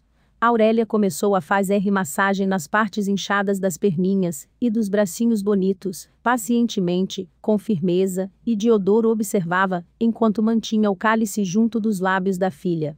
Quanto era calma sua esposa? Se sentia terror, não o revelara. Rubre agora suspirava, sob o tratamento que lhe dava a mãe, e os espasmos tornavam-se menos frequentes. A ama continuava a abanar as cortinas, e Capitã movera-se, afastando-se do leito, imperscrutável e silencioso. Aurélia mergulhava sem cessar os dedos na vasilha de prata do linimento à proporção, que ia fazendo a massagem. Seus dedos curtos e brancos tinham força e propósito. Ela parecia saber quando fazer pressão, quando erguer delicadamente a mão. Era como alguém que, confiante e destemida, se movesse com firmeza contra um inimigo, o corpo de Rubre afrouxou a rigidez, polegada por polegada, tornou-se menos tenso de agonia, menos rijo de sofrimento. Ah! Ah! exclamava Aurélia, em voz baixa e confortadora. Nós vamos mandar isto embora. Não vamos? Os músculos de seus braços, de suas mãos gorduchas, erguiam-se e abaixavam-se visivelmente, e a luz das lâmpadas ondulava sobre eles. Ela combatia, mas não havia sinais de combate em seu rosto plácido, em seus olhos serenos e sorridentes. Minha Aurélia pode não ter muita imaginação, mas é uma mulher, e a tenacidade está nas mulheres, como a força está no exército, pensou Diodoro, com humildade nova. Rubre agarrava-se à mão do pai, mas voltava-se inconscientemente para sua mãe, como faz um recém-nascido. O vestido de Aurélia era decotado, e Diodoro podia ver o rico entumecimento de seu peito, aquele peito imperturbado e sem agitação. Reluzia de suor, mas não havia respiração ansiosa erguê-lo e baixá-lo. Sem interromper sua tarefa, Aurélia levantou os olhos para o marido, e seu sorriso era cheio de amor. Seus olhos castanhos diziam-lhe: Eu salvarei esta pequenina para ti. Não te tortures, meu querido. Não havia ciúmes em seu olhar o que importava era apenas que a Diodoro fosse poupado um desgosto esmagador. As faces rechonchudas de Aurélia luziam com seu calmo esforço, e seus lábios cheios curvavam-se. Tinha soltado os cabelos para a noite, e eles derramavam-se, como negra cascata por sobre seus jovens ombros rotundos. O medo de Diodoro agora diminuiu. Voltou-se para Quepitá, o médico. Tratava com muita atenção aquele escravo, e emprestava-o com frequência, a seus amigos quando estes adoeciam.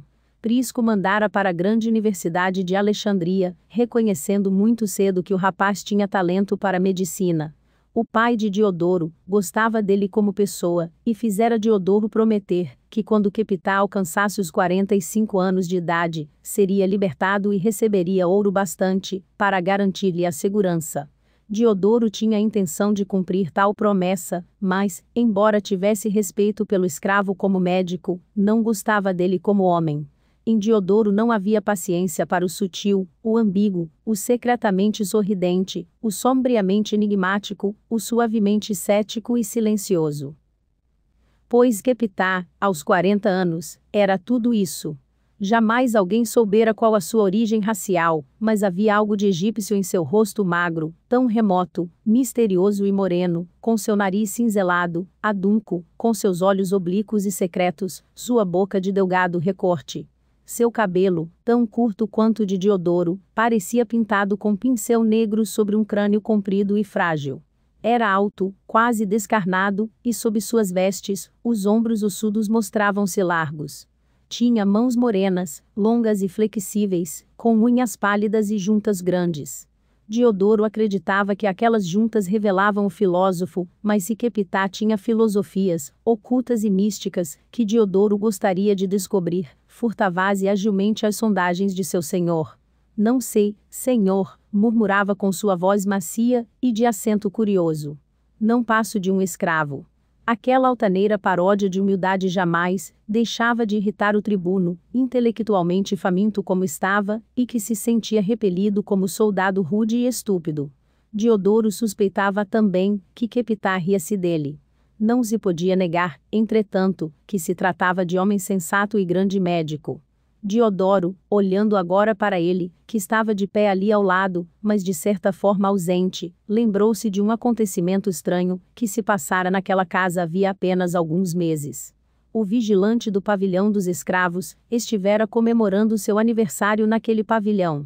Diodoro, bom senhor que era, e reconhecedor dos servos fiéis, dera ordens para que excelente comida e vinho de sua mesa fossem usados naquela noite como presente pessoal, dera ao capataz uma bolsa de moedas de ouro.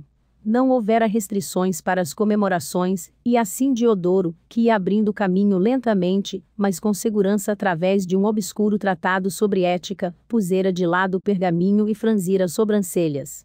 Em sua biblioteca tudo, era silêncio à luz da lâmpada, mas o tumulto da instalação dos escravos, fazia-se clamor ruidoso no ar tépido. Diodoro então, sorrira, num esforço de indulgência. Teodoro, um velho, não teria muitas oportunidades para a hilaridade e os festejos. Que as moças bonitas dançassem diante dele, e os jovens pinoteassem, e o vinho corresse, e os ossos fossem atirados no piso de mármore, e a música batesse contra as paredes da casa.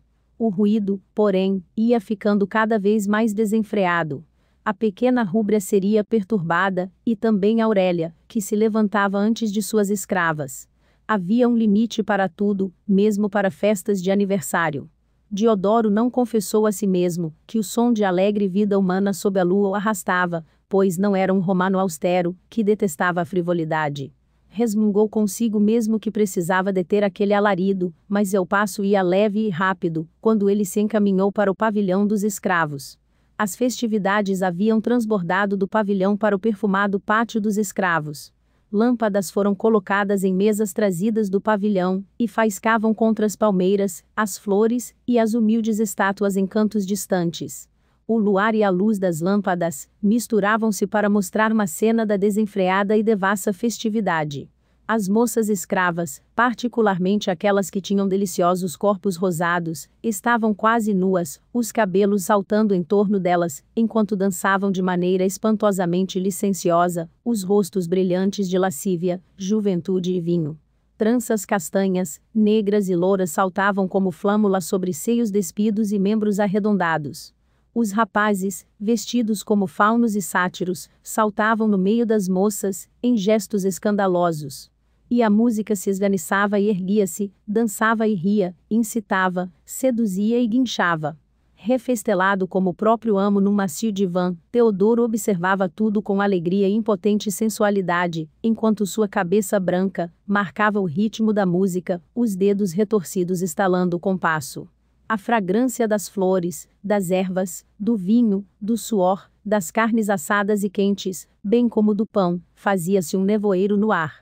As lâmpadas, elas próprias como que inspiradas, ardiam com brilho maior, e a luz e a sombra perseguiam-se como dardos embriagados, através do pátio. Diodoro ficou aterrado.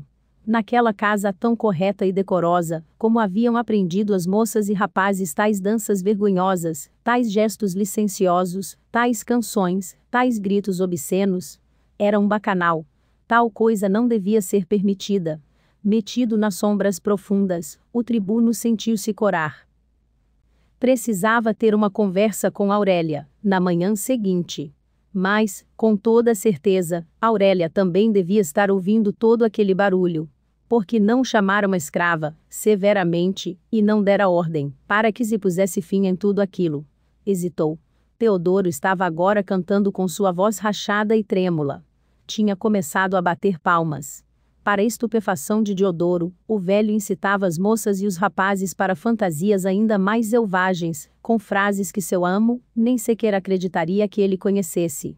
Tais palavras, pelos deuses. Mais habituado agora, à escuridão, à luz das lâmpadas e ao luar, Diodoro correu os olhos pela cena. Através do pátio viu um movimento confuso, depois o brilho de um traje branco reconheceu a figura alta e majestosa de Kepitá, o médico. Diodoro ficou ainda mais estupefato. Kepitá jamais se reunia aos outros escravos. Não obstante, lá estava ele também observando, como Diodoro. Também ele devia sentir-se solitário. Subitamente, Kepitá saiu da sombra, revelando-se em seu traje branco e longo de médico, ereto, e ainda incompreensível. A luz da lâmpada brilhou por inteiro sobre seu rosto, e Diodoro mal reconheceu, tão estranho estava, tão cintilante, tão secreto e tão contido. Kepitá ficou ali a observar os corpos saltitantes, as pernas e braços enlaçados, os cabelos revoltos, o ritmo da carne quente, o jubiloso abandono da juventude voluptuosa e ébria. Os pés dançantes rodopiavam e rodopiavam, aproximando-se dele cada vez mais. Às vezes, sua figura era obscurecida pelas moças, e depois elas tornavam a recuar, aproximavam-se e afastavam-se, sempre dançando, rapazes e meninos seguindo em perfeito ritmo, as mãos agarrando-se, e avançando para seios e braços amorosos, ou atirando os cabelos para cima. Kepitá, porém, não se movia nem recuava. Começava a sorrir, e, vendo aquele sorriso, Diodoro franziu as sobrancelhas. A luz no rosto de Kepitá cintilou. Então, Kepitá levantou a mão direita. Se pensa que vai detê-los, é louco, pensou Diodoro. Só um corisco produziria efeito. Kepitã manteve a mão erguida, e Diodoro podia ver a palma rasa e trigueira. Não era um gesto de comando. O polegar dobrava-se para a palma de forma curiosa, e os dedos afastavam-se. O tribuno estava tão absorvido observando seu médico que só alguns momentos depois teve consciência de que o mais profundo silêncio havia tombado ali. Mesmo os músicos tinham cessado de tocar sua música selvagem. Diodoro teve um sobressalto. Olhou ao seu redor, incrédulo, e então a estupefação o dominou. Os dançarinos tinham se detido em posição de dança. Os alaudistas, flautistas e arpistas, como que se haviam congelado, as mãos imóveis no ar. A cabeça de Teodoro tombara sobre o peito de ancião. Havia agora apenas o mais profundo silêncio no pátio, exceto pelo silvo das lâmpadas, o chirro dos insetos noturnos, os gritos distantes dos pássaros, o remoto ladrido de um cão. O luar banhava o pátio e as lâmpadas baixavam suas flamas, morrendo. Os dançarinos estavam ali, pernas erguidas, braços arremessados para frente, rostos brancos e enlevados.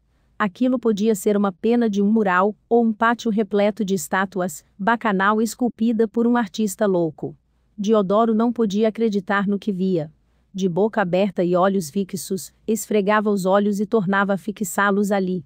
A noite estava muito quente, mas de repente ele sentiu um frio de morte. Algo farfalhou e um passo levíssimo se fez sentir. Diodoro deu um salto, subitamente assustado, e voltou-se. Kepitá estava a seu lado, sorrindo sombria e respeitosamente, depois, curvando-se, murmurou. Eles te estavam incomodando, senhor. Diodoro estremeceu e deu um ou dois passos. Sussurrou. Que fizeste? Os olhos insondáveis contemplaram-no seriamente, mas em suas profundezas havia uma faísca avermelhada. Eu, senhor, disse o médico, levantando as sobrancelhas oblíquas, como que surpreendido por uma infantilidade. Isto não é nada. Eu te vi através do pátio, e era evidente que estavas aborrecido. Assim, mandei que esses malucos parassem, e eles me ouviram. Que fizeste? Repetiu Diodoro, e agora, apesar de seu tremor, a voz saiu-lhe áspera e forte. Mais uma vez Kepitá estudou-lhe o rosto, com zombeteira surpresa. Isto é algo que aprendi como médico, senhor. Voltou-se um pouco, e contemplou a terrível cena diante dele. O luar, aqui e ali, banhava um jovem seio marmóreo, o movimento imobilizado de um braço, a curva de um joelho. Isto te está alarmando, senhor? Perguntou Kepitá, como que espantado. Mas não é nada. Diodoro levantou o braço num gesto involuntário de horror e ameaça. Liberta-os imediatamente. Exclamou, afastando-se num recuo do médico, todas as suas superstições a arrepiar-lhe a pele. Para o abandono e o ruído, senhor. Kepitá parecia perplexo. Logo amanhecerá. Liberta-os, maldito. Berrou Diodoro. Estava terrivelmente amedrontado. Para mais decoro, talvez, urgia a voz insidiosa, em tom ansioso. Diodoro ficou em silêncio. Kepitá parecia refletir sobre a frustração de seu amo. Ergueu então os ombros. Levantou de novo a mão, murmurando algo para si mesmo. A cena não se modificou subitamente. Mas, lentamente, os braços e pernas começaram a se mover, a tombar, relaxados. Os corpos tornaram-se vivos, embora frouxos. Como que se movendo em sonhos, cabeças voltaram-se, pés começaram a andar, não na dança, mas em encantamento. O luar, frio e imóvel, brilhava sobre ombros pesados, membros entorpecidos. Um por um os escravos deslizaram para fora do pátio, sem falar, sem se olhar, completamente inconscientes uns dos outros. Era como que observar uma cena de total exaustão e de inconsciência animal. Para Diodoro, aquilo era um terrível e insondável pesadelo. Agora, o pátio estava vazio. Ficaram somente as lâmpadas, as mesas cobertas de objetos, as cadeiras vazias. Os instrumentos dos músicos estavam sobre as pedras, como se ali tivessem sido arremessados em fuga. As lâmpadas, no último piscar, apagaram-se. A lua desceu lentamente, e as palmeiras farfalharam. Kepitá falou, e pareceu a Diodoro, que ambos estiveram ali por um tempo infinito. Eles esquecerão, Senhor. Acreditarão que foram dormir depois de uma noite feliz, de festança e regozijo. Suspirou. Como são felizes, tendo um amo assim indulgente.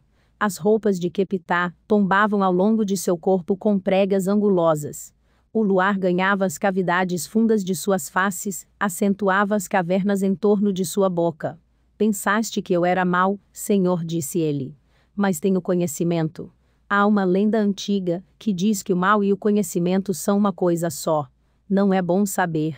É muito melhor ser um animal inocente olhava agora para Diodoro, e no lugar de seus olhos, havia covas de trevas sem fundo. Mas continuou ele, quem existe, entre nós, que preferisse não ter conhecimento do bem e do mal? Não saber é não ser homem. Ou os deuses, acrescentou, ainda mais baixo. Afastou-se, e não houve som em torno dele. Fora aquilo que ele dissera. Quando Diodoro, pela manhã, indagou, cautelosamente junto de Teodoro sobre as festividades da noite, o escravo respondera alegremente: Graças a ti, Senhor, foi uma noite gloriosa. Nunca teus servos se sentiram mais felizes. Dobrou os joelhos, que estalavam, e beijou as mãos de Diodoro. O sol brilhava em seu rosto murcho. Nunca nos esqueceremos, disse ele. Diodoro então, mandara chamar Kepitá, que veio ter com ele com pés que pareciam deslizar. Falaste comigo em bem e mal, na noite passada, e também em conhecimento, disse ele. Tua linguagem foi muito obscura. Diodoro fez uma pausa. Fixou os olhos em Kepitá, não como um amo olha para o escravo, mas como um homem olha para outro. Estudaste os trabalhos de Aristóteles durante teus anos em Alexandria. Lembraste que o sábio falou sobre absolutos. Acreditas em absolutos? Kepitã não estava perplexo. Sabia que Diodoro pensara longamente na conversa da noite. Sabia tudo quanto se podia saber sobre o tribuno. Não, senhor, eu não acredito. E por quê? Porque, senhor, não há absolutos, a não ser Deus. Mas Aristóteles era um grande filósofo, Estás tendo a pretensão de contradizê-lo Diodoro, voltou-se em sua cadeira, ofendido. Kepitá sorriu, seu sorriso sutil. A sabedoria terminou com Aristóteles. Diodoro franziu as sobrancelhas, mas sentia-se abalado. Então, última palavra ainda não foi dita? Não, senhor, ainda não foi dita. Diodoro assumiu aspecto ainda mais ameaçador. Não há absolutos. Não há última palavra. Estava desanimado. Já era bastante desagradável que a política fosse sempre tão instável e a vida tão caprichosa. Mas a filosofia, com certeza, e filosofia como a de Aristóteles, era uma coisa eterna e imutável. A que se agarraria um homem num mundo imprevisível, a não ser na filosofia, na memória de seus pais, nos templos de seus deuses e na sabedoria? levantou os olhos para Kepitá, e percebeu que seus olhos eram estranhos e distantes, e que seus lábios exangues tinham um contorno obscuro. Dize-me perguntou o tribuno, que fizeste aos escravos na noite passada? Apenas uma forma de hipnotismo, senhor, respondeu o médico. Uma ilusão, isso foi tudo. Ilusão de quem? Diodoro estava encolerizado. Kepitá ergueu delicadamente os ombros. Quem sabe, senhor? Diodoro, irritado, mandara que ele se retirasse. Os pensamentos que as palavras de Kepitá despertaram nele eram demasiadamente perturbadores, e, assim, ele os suprimiu o mais depressa possível. Não se havia lembrado mais deles, até aquele momento.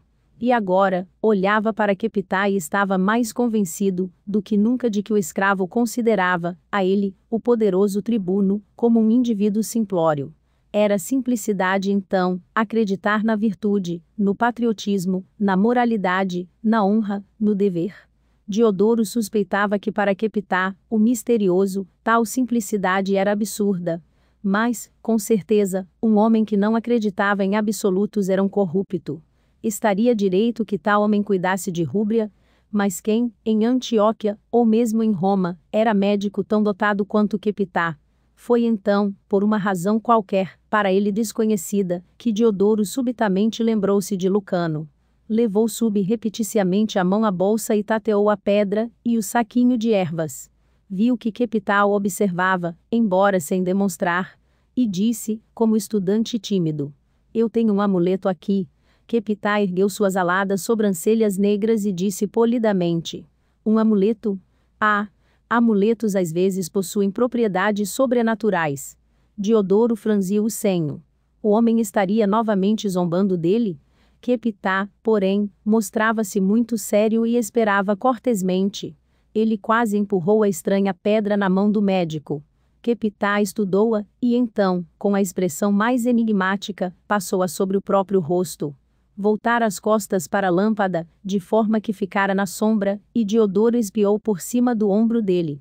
Nas mãos de Kepitá, na obscuridade, a pedra luzia como que ardendo com um fogo intenso e inextinguível. Lançava uma claridade ligeira, mas firme, sobre os compridos dedos morenos de Kepitá. Que vem a ser isso? perguntou Diodoro, impaciente. Kepitá, com aquele ar secretamente divertido que lhe era habitual, contemplou a alarma do amo, e seu rosto subitamente congestionado. Deram-me esta noite, acrescentou Diodoro, e quem a deu foi o filho do meu liberto, o pequeno Lucano, para a senhora Rúbria. Disse-me que a encontrara, e declarou-me que os deuses, ou Deus, estava nela. O rosto de Kepitã modificou-se. Lucano? perguntou ele. Ficou refletindo. Sabia do afeto que ligava o jovem grego, a mais jovem Rúbria, um afeto tão inocente e tão gentil. Sabia também qual tremendo poder da sugestão. Dirigiu-se ao leito e, imperativamente, como se fosse o senhor e Aurélia uma escrava, fez-lhe sinal para que se afastasse. E ela, instintivamente, obedeceu. Rúbria estava chorando baixinho, mas agora olhava para Kepitá, como que amedrontada. Ele sorriu para a menina e mostrou-lhe a pedra, que não era comum, mas não possuía outras qualidades além de sua beleza. Isto disse ele, é uma pedra mágica, que foi achada pelo teu companheiro de brinquedos, Lucano. Os deuses devem tê-lo dirigido para ela. Isto te ajudará, senhorazinha, se acreditares nela, pois não foi Lucano que a encontrou para ti. Rubre olhou para a pedra e tocou-a timidamente com um dedo frágil. Começou a sorrir. Kepitã mudou-a de posição, rápida e habilmente, apertou os contornos arredondados da pedra contra o flanco esquerdo da menina, na região do seu fígado inflamado. Aqui ela deve ficar, disse ele, aos pais e à ama durante vários dias, até que a menina recupere a saúde. Olhou firme para Rúbria, com um olhar imperioso, e a menina bem, como seu pai e sua mãe pareceram tomados de respeitoso temor. Diodoro esfregou o queixo. Podia ser supersticioso, mas também era homem de razão e de lógica. Curvou-se sobre a filha e estudou a pedra, vendo-a faiscar e refletir. Um tanto desconfiado então, tornou a levantar os olhos para Kepitá, teve dificuldade para manter sua gravidade. Não acredito em magia, resmungou o tribuno. Senhor, há muita magia no mundo. Basta acreditar nela para encontrá-la. O tribuno achou aquilo ambíguo e franziu as sobrancelhas, mas Kepitá parecia muito sério.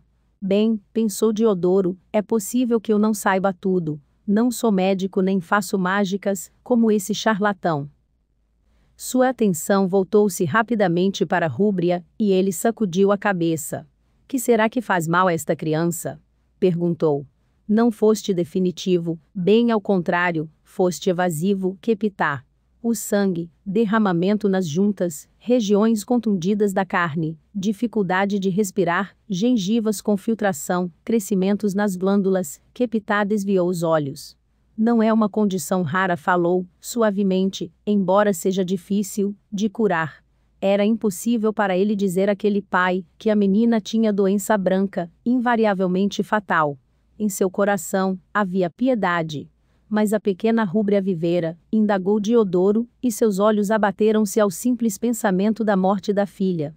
Kepitá olhou por um longo momento antes de responder. Não está ordenado que ela morra agora, Senhor, ou em um futuro imediato. Rúbria, ao contato da pedra de Lucano contra sua pele jovem, sentia que tudo acabara, e isso Kepitã notou.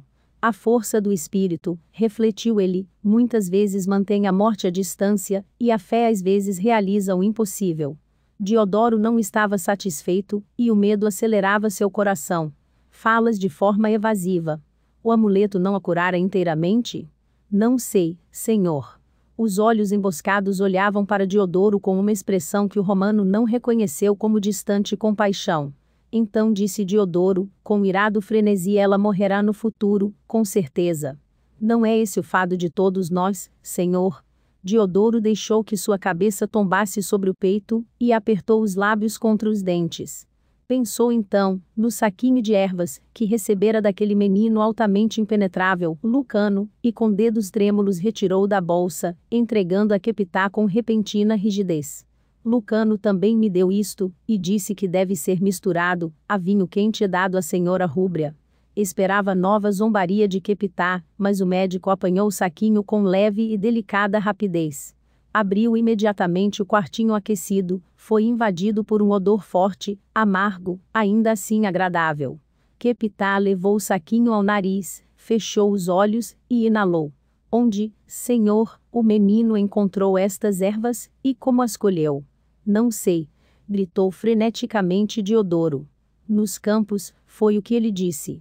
Não me falou como as escolheu. Deuses! Não haverá fim para este mistério? Que existe nesse saquinho? Kepitá sorriu e fechou cuidadosamente o saquinho. Ervas que eu próprio não consegui encontrar, embora as tenha procurado longa e infinitamente. Pousou os dedos ossudos na boca, como para aquietá-los deu saquinho à ama, ordenando que as ervas fossem misturadas ao vinho quente, imediatamente. Voltou-se sobre os calcanhares, em silêncio, dirigiu-se para a cama, e olhou para a rúbria com a expressão de alguém que se visse diante de um milagre. Diodoro agarrou o braço do médico. O menino, Lucano, disse que deseja estudar medicina, e eu lhe prometi, parou seus olhos altivos apertados em conjectura e pensamento, e sua mente frugal acelerada. Sim, senhor? perguntou Kepitá, outra vez o escravo altaneiro parodiando a humildade. Eu lhe prometi que podia estudar com a senhora Rúbria, e que mais tarde, mais tarde seria possível que ele fosse estudar. Diodoro parou, as sobrancelhas ferozes reunidas tu Kepitá, se acreditares que ele tem capacidade para se tornar um médico, e então, respirou fundo e abandonou heroicamente a precaução. Eu o mandarei para Alexandria. Esperava que Kepitá se mostrasse incrédulo e divertido. Mas este curvou a cabeça, seriamente. Senhor, o que disseste, está prescrito. Agora, em nome do Hades, que queres dizer com isto? Perguntou Diodoro, perplexo penso que está de novo falando nos fados. Mas Aristóteles e Sócrates não falaram na livre escolha do homem, ridicularizando o que está prescrito. Muitos filósofos não são sábios em todas as coisas, disse com calma o irritante Kepitá. Se um homem tivesse de viver apenas através das teorias dos filósofos, ele não sobreviveria e nem conservaria sua sanidade mental sorriu amplamente para Diodoro, como um pai magnânimo sorri para um filho jovem e obstinado. A ama trouxe um cálice de prata com vinho quente, e Kepitã misturou nele, habilmente, as ervas que recebera. Os gemidos da menina eram agora mais baixos, embora fosse evidente que ainda sofria grandes dores. Kepitá entregou o cálice a Aurélia, que o levou aos lábios da filha com um sorriso amoroso. A menina bebeu obedientemente entre profundos haustos de dor. Kepitá ficou junto do leito, observando atentamente por alguns momentos. Os gemidos tornaram-se menos frequentes, os olhos da menina dilataram-se maravilhados e tranquilos. Sua cabeça descansava sobre os joelhos maternos, como que surpreendida com a diminuição da angústia. Então pôs-se a respirar, um hausto depois do outro, lento e profundo, como suspiros. Ah! Deuses! murmurou Diodoro, as pálpebras umedecidas pela gratidão. Como se fosse rubra maré, o surto de febre, recuou das faces de rúbria, e de seus lábios, substituído por uma palidez fantasmal, para seus pais aquilo era excelente, pois se haviam esquecido de que aquele mesmo calor precedera sua última crise aguda da doença, havia semanas já, despertando sua ansiedade. Kepitá sentiu para si mesmo, com melancolia. A menina está dormindo. exclamou Aurélia, muito delicadamente. E Rúbria realmente adormecera, branca, como se estivesse morta sobre as madeixas escuras de seus cabelos sacrificarei não um galo, mas dois, a Apolo, exclamou Diodoro, que o alívio tornava fraco. E ao seu mensageiro, o glorioso Mercúrio de pés ligeiros, duas hecatombes. Atirou-se para o médico, e, esquecendo que era o senhor daquele escravo imperscrutável, agarrou-lhe a mão, pestanejando para conter as lágrimas. Ah, Kepitá, pede o que quiseres. E terás o que pedires instantaneamente, pelo seu trabalho desta noite. Kepitá ficou calado, enquanto Diodoro lhe apertava a mão. Refletia que só um oportunista tiraria proveito do que não lhe pertencia. Mas os escravos não têm escolha, a não ser o expediente. E disse, tão baixinho que seus lábios mal se moviam: Minha liberdade, senhor. Diodoro foi apanhado de surpresa. Comprimiu a boca, relanceou um olhar furibundo sobre o escravo. Ah! disse, com voz ameaçadora. Queres tirar vantagem da minha emoção, natural num pai? Kepitá encolheu os ombros. Foste tu que sugeriste isso, senhor, não fui eu, respondeu ele. O cabelo curto de Diodoro arrepiou-se com aquela sua repentina cólera. Em seu nariz adunco as narinas dilataram-se. A desconfiança reluziu em seus olhos. Que velhaco lisonjeiro és tu, Kepitá, Sabes que foi prometido a meu pai que eu te daria a liberdade quando tivesses 45 anos, bem como ouro bastante para que vivesses bem. Quererás que eu quebre a promessa que fiz a meu pai? Kepitã não pôde conter um sorriso diante desse sofisma, e, vendo o sorriso, Diodoro sentiu-se ainda mais encolerizado e consideravelmente encabulado sacudiu para longe a mão de Kepitá, levantou os ombros, pesadamente, até a altura das orelhas, e manteve-se obstinadamente, como um touro pronto a atacar. Tentou fazer o escravo baixar os olhos, sombriamente. Kepitá, entretanto, manteve-se em tranquila dignidade, tocando com os dedos uma presa de seu traje. Diodoro por um momento esqueceu a filha adormecida, e berrou. Muito bem então, tratante. Que seja. Dentro de alguns dias, irás comigo a casado pretor. Sacudiu um dedo espesso diante do rosto de Kepitá, mas com a condição de que te conserves voluntariamente comigo, até que eu te despeça. Pensaste que eu iria deixar-te, senhor? Perguntou Kepitá, como que estupefato. Além disso, não está prescrito que eu fique nesta casa e ensine o filho de Enéas. Diodoro, porém, não se acalmou. Fervia de indignação, tentando intimidar o outro. Kepitã não estava intimidado. O pretor e tu, senhor, sem dúvida concordarão com um estipêndio que eu preferiria sugerir.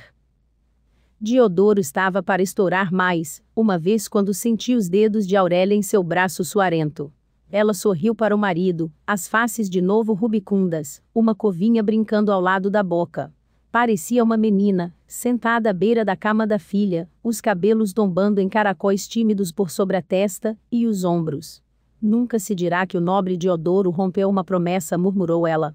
Sua aparência e seu amor comoveram o coração secretamente sensível de Diodoro.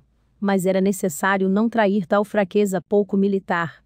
O homem atirou para frente as mãos, num gesto de raivosa capitulação. Eu disse, portanto que seja. exclamou. Direi também que desprezo o homem exigente, seja ele amo ou escravo. Kepitá, eu te respeitei. Agora sinto desdém por ti. O desdém de um homem como tu, Senhor, vale a honraria concedida por todos os demais homens, falou Kepitá, e Aurélia riu alto, como que encantada.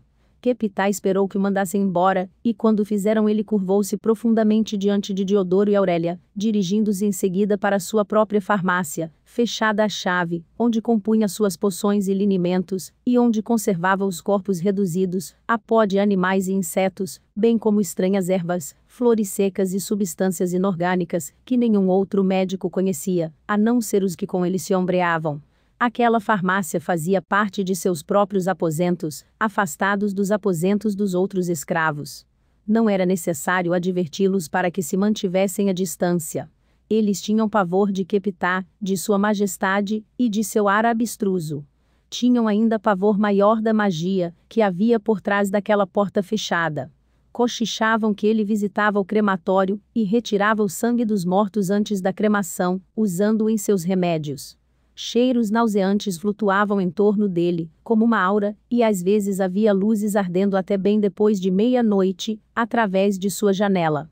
Alguns dos escravos juravam que não eram luzes de lâmpadas, mas faíscas movediças conto estrelas, e que aquelas faíscas muitas vezes suspendiam-se sobre o peitoril da janela, como fogos fatos.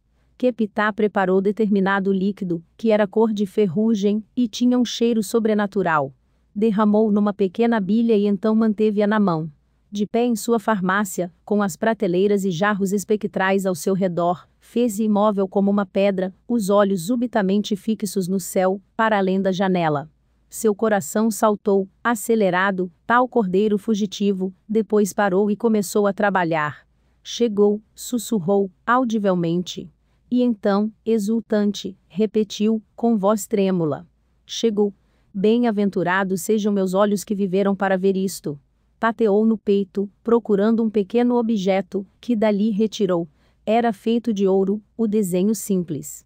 Apertou de encontro aos lábios, e curvou-se várias vezes, dizendo: Santo, Santo, Santo. Tombou de joelhos, a cabeça inclinada sobre o peito, mal parecendo respirar, tomado de um encantamento que ficava além da compreensão do mundo.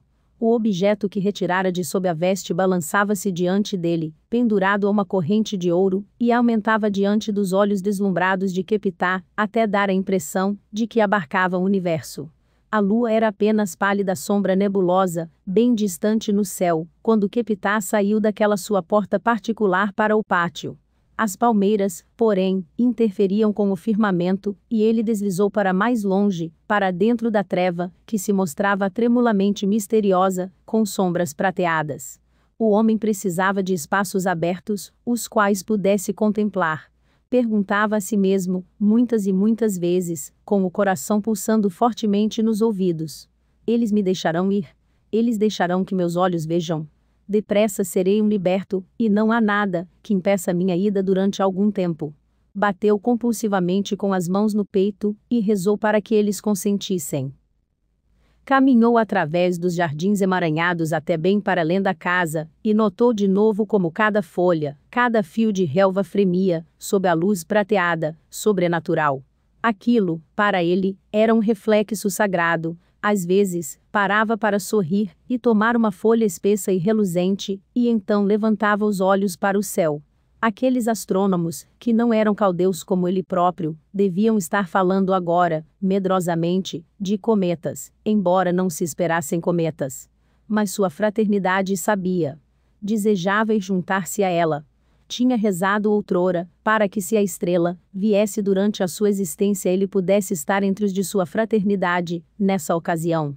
A estrela viera, e havia uma longa distância a pé, de Antioque até onde a fraternidade deveria estar em jubilosa vigília, os olhos escuros cheios de mistérios e de ações de graças tinham mantido tal vigília tão longamente, que seu início se perdia no tempo, desde os dias de Ur, desde os dias do florescimento de Bit e Aquim, desde os dias em que tinham vindo de algum deserto longínquo, quando ainda eram um povo de sacerdotes, os caluantes que os judeus os chamassem babilônios.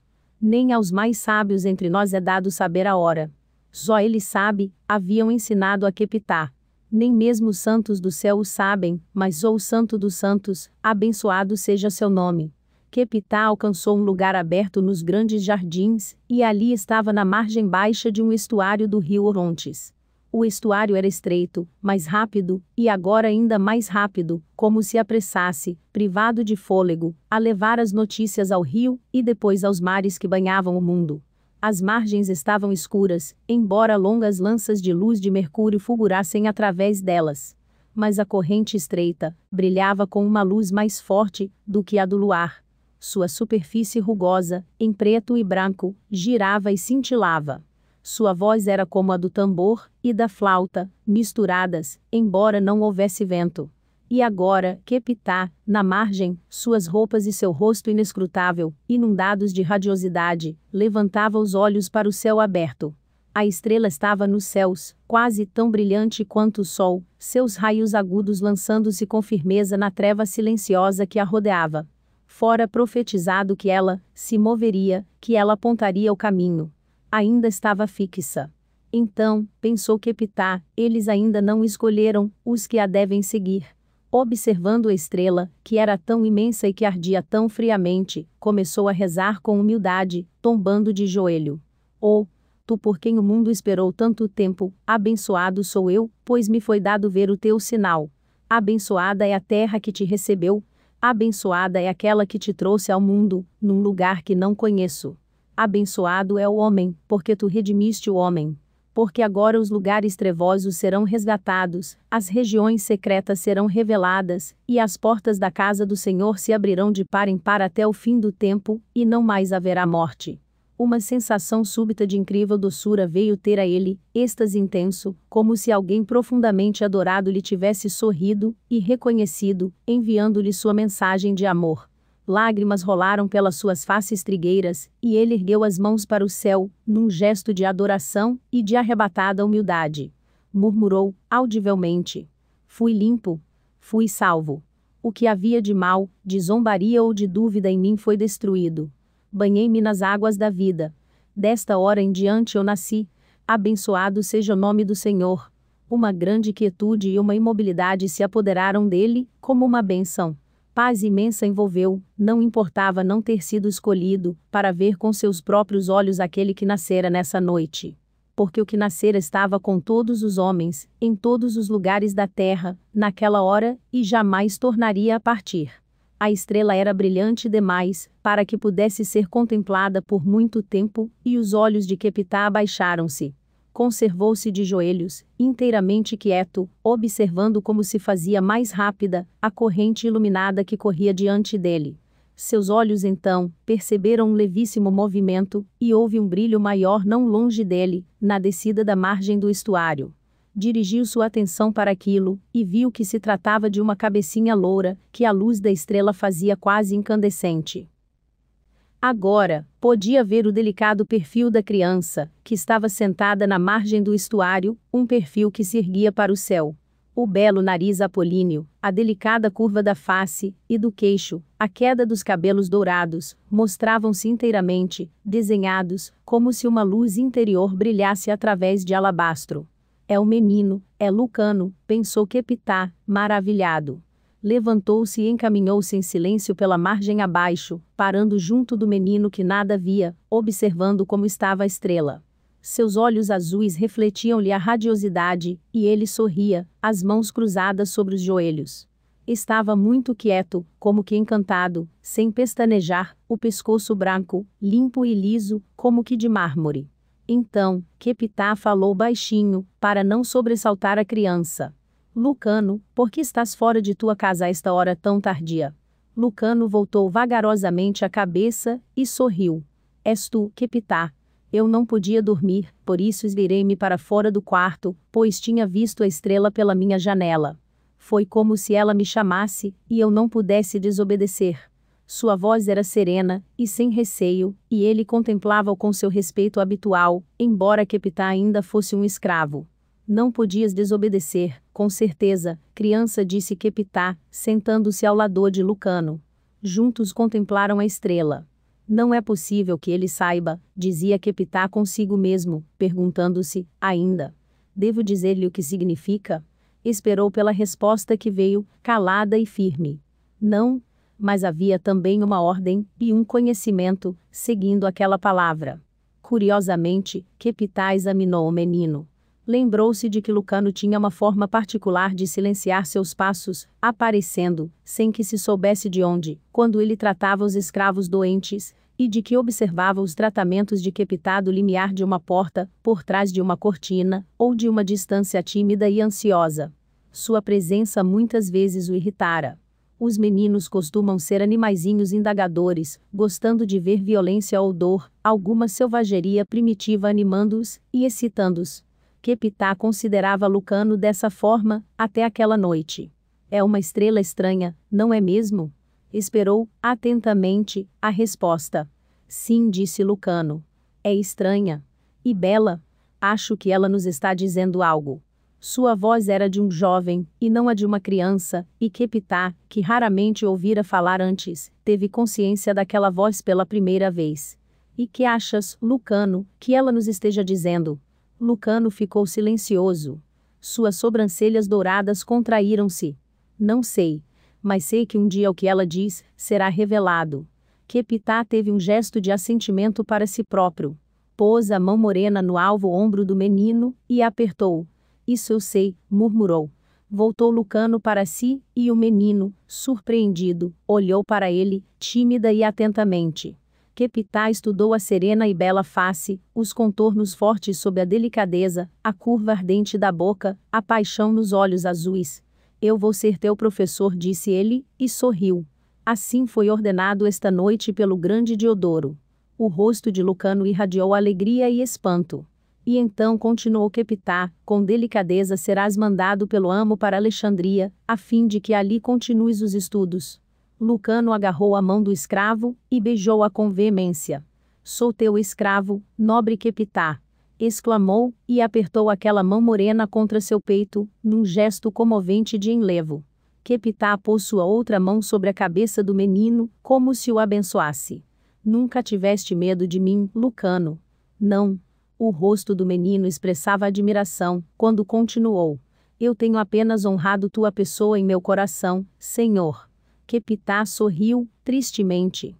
Não me chame senhor, Lucano. O nobre Diodoro não aprovaria. Ele tem um senso imenso da propriedade. Pensou em Diodoro, penalizado e não com seu divertimento habitual.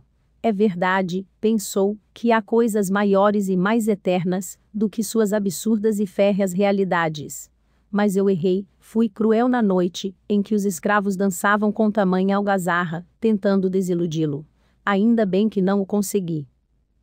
A estrela brilhava, resplandecente, seus raios alargando-se e apagando todas as outras estrelas e todos os outros planetas menores, fazendo-os correr através da curva do céu, rumo à aurora. Kepitá tornou a contemplá-la, esquecendo Lucano, e este, fixando os olhos naquele perfil recortado, moreno e oriental, perguntou: Quem és tu, Kepitá? Kepitá ficou silencioso por um longo momento, como se perguntasse coisas a si próprio e recebesse respostas. Depois, sem olhar para Lucano, começou a falar. Sou um caldeu. Isto contaram-me há muitos anos, embora eu não o soubesse antes, tendo vindo para a casa de Prisco como uma criancinha e escrava.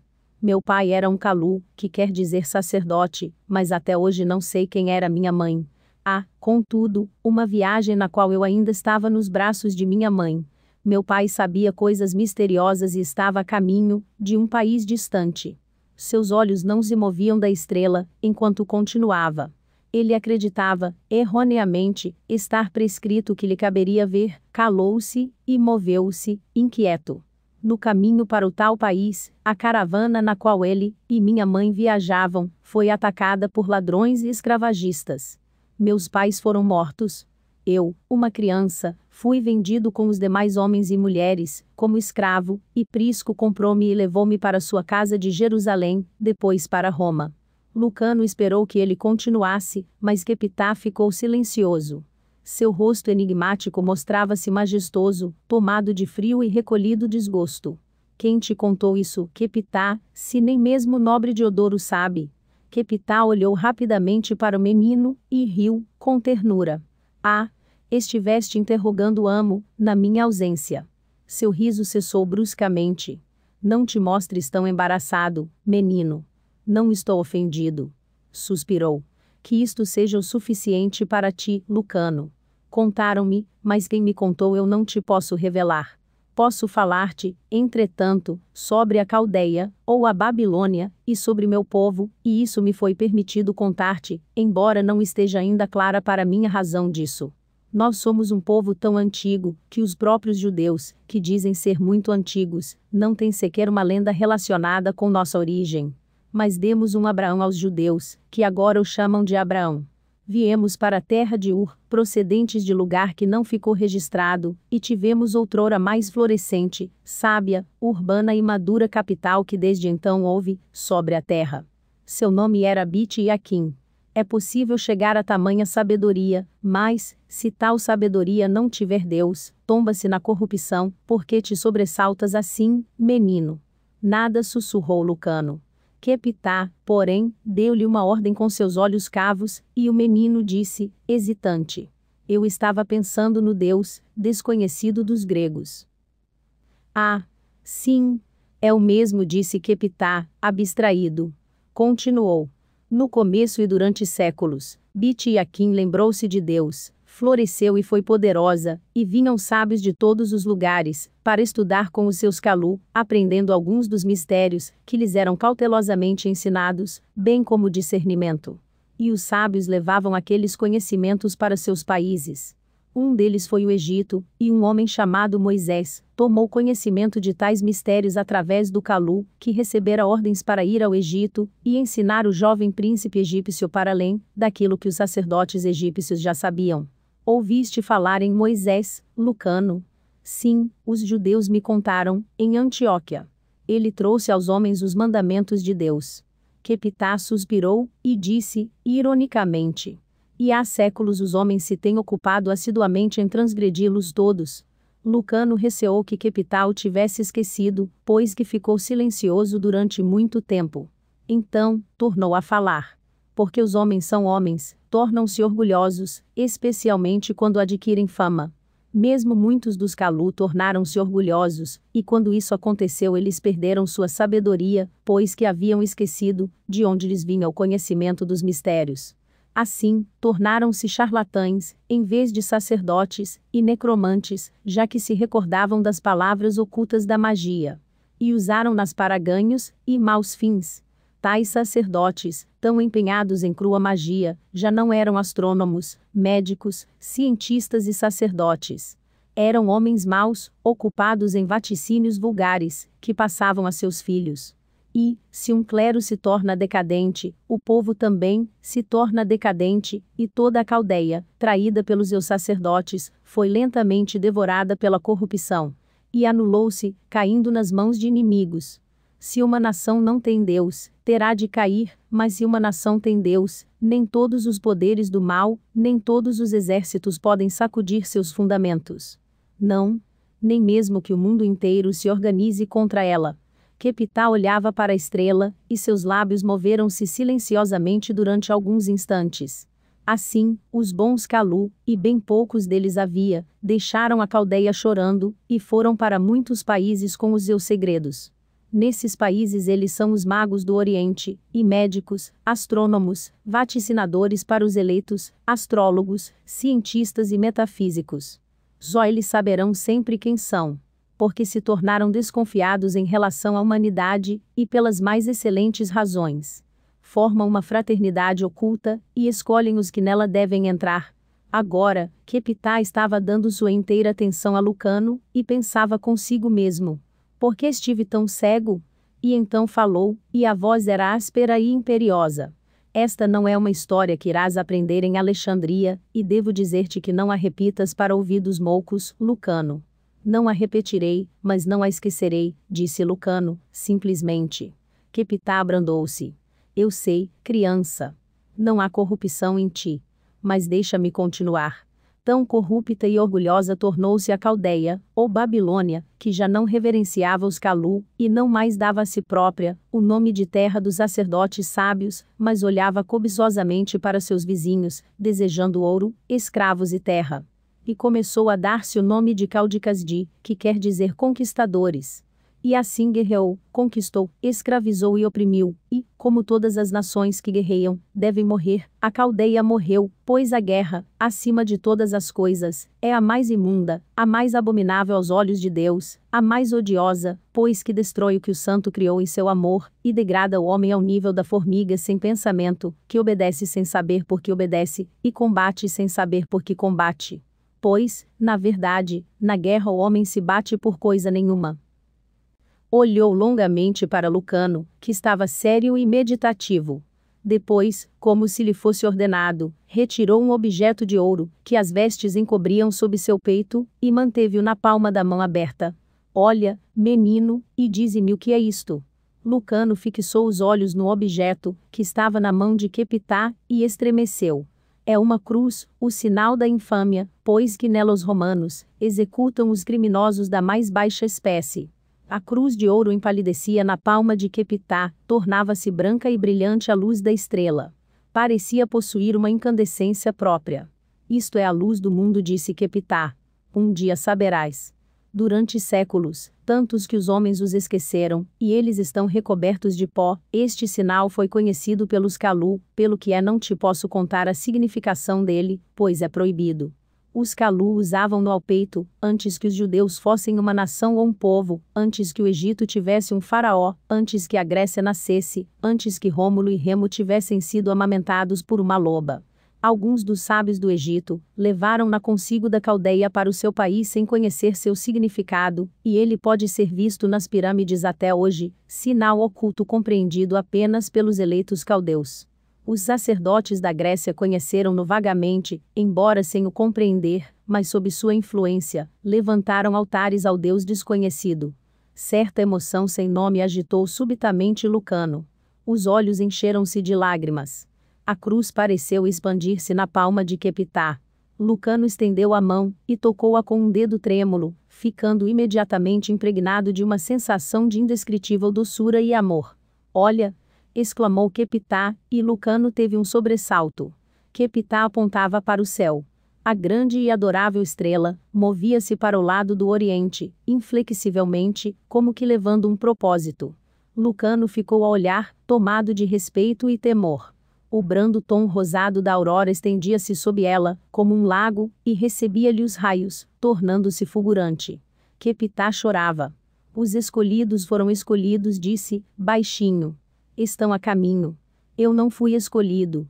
Ficaram a olhar até que a estrela desceu lentamente, mergulhando no mar róseo da manhã, e perdeu-se para eles, e eles se sentiram desolados. Foi-se, lamentou Lucano.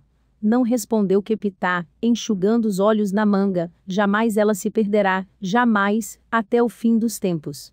Contemplou a cruz na palma de sua mão, e pensou: e sobre isto escarrarão, e isto será ignorado, ridicularizado e blasfemado, mas nunca será esquecido, nunca explicado, nunca desvanecido, apesar da violência das raças ainda por nascer, apesar da guerra, da morte, da agonia, do sangue e da treva e fogo dos últimos dias, e da última e desvairada fúria dos homens.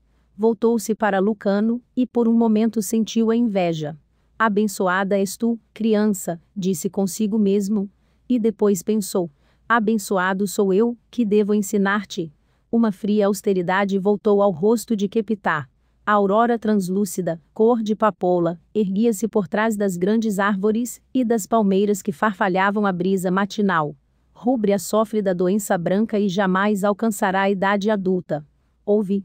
Não chores tão alto, e não te impressiones tanto. Por que choras?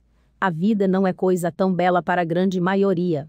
Nascemos obscuramente, vivemos obscuramente e morremos obscuramente. Mas o que te disse, não deve ser contado ao tribuno de Odoro, para que seu coração não se despedace antes do tempo. Lucano cobriu o rosto com as mãos e Kepitá, compassivo, sacudiu a cabeça. Para os jovens, a morte é impossível, a morte é o supremo e inacreditável horror. Olhou para o céu aperolado, onde a estrela estivera, e suspirou. Precisas dizer-me onde encontraste as ervas que suavizaram as dores da senhora Arúbria. Encontrei-as nos campos, e à margem dos regatos e sabia, que elas eram boas que. A voz do menino, era apenas um sussurro de medo. São boas. precisas encontrar mais para mim, a fim de evitar-lhes sofrimento, e eu a secarei e reduzirei a pó, para destilar-lhes a essência, pois são preciosas. Levantou, alto e distante, e Lucano levantou-se com ele. Já é manhã, disse Kepitá. Tua mãe deve ter estado à tua procura. Vai, menino, e não fales do que te falei, porque, se o fizeres, nada mais te ensinarei. Se você gostou, por favor, deixe o seu joinha, se inscreva, compartilhe o vídeo com seus amigos. Até o próximo vídeo.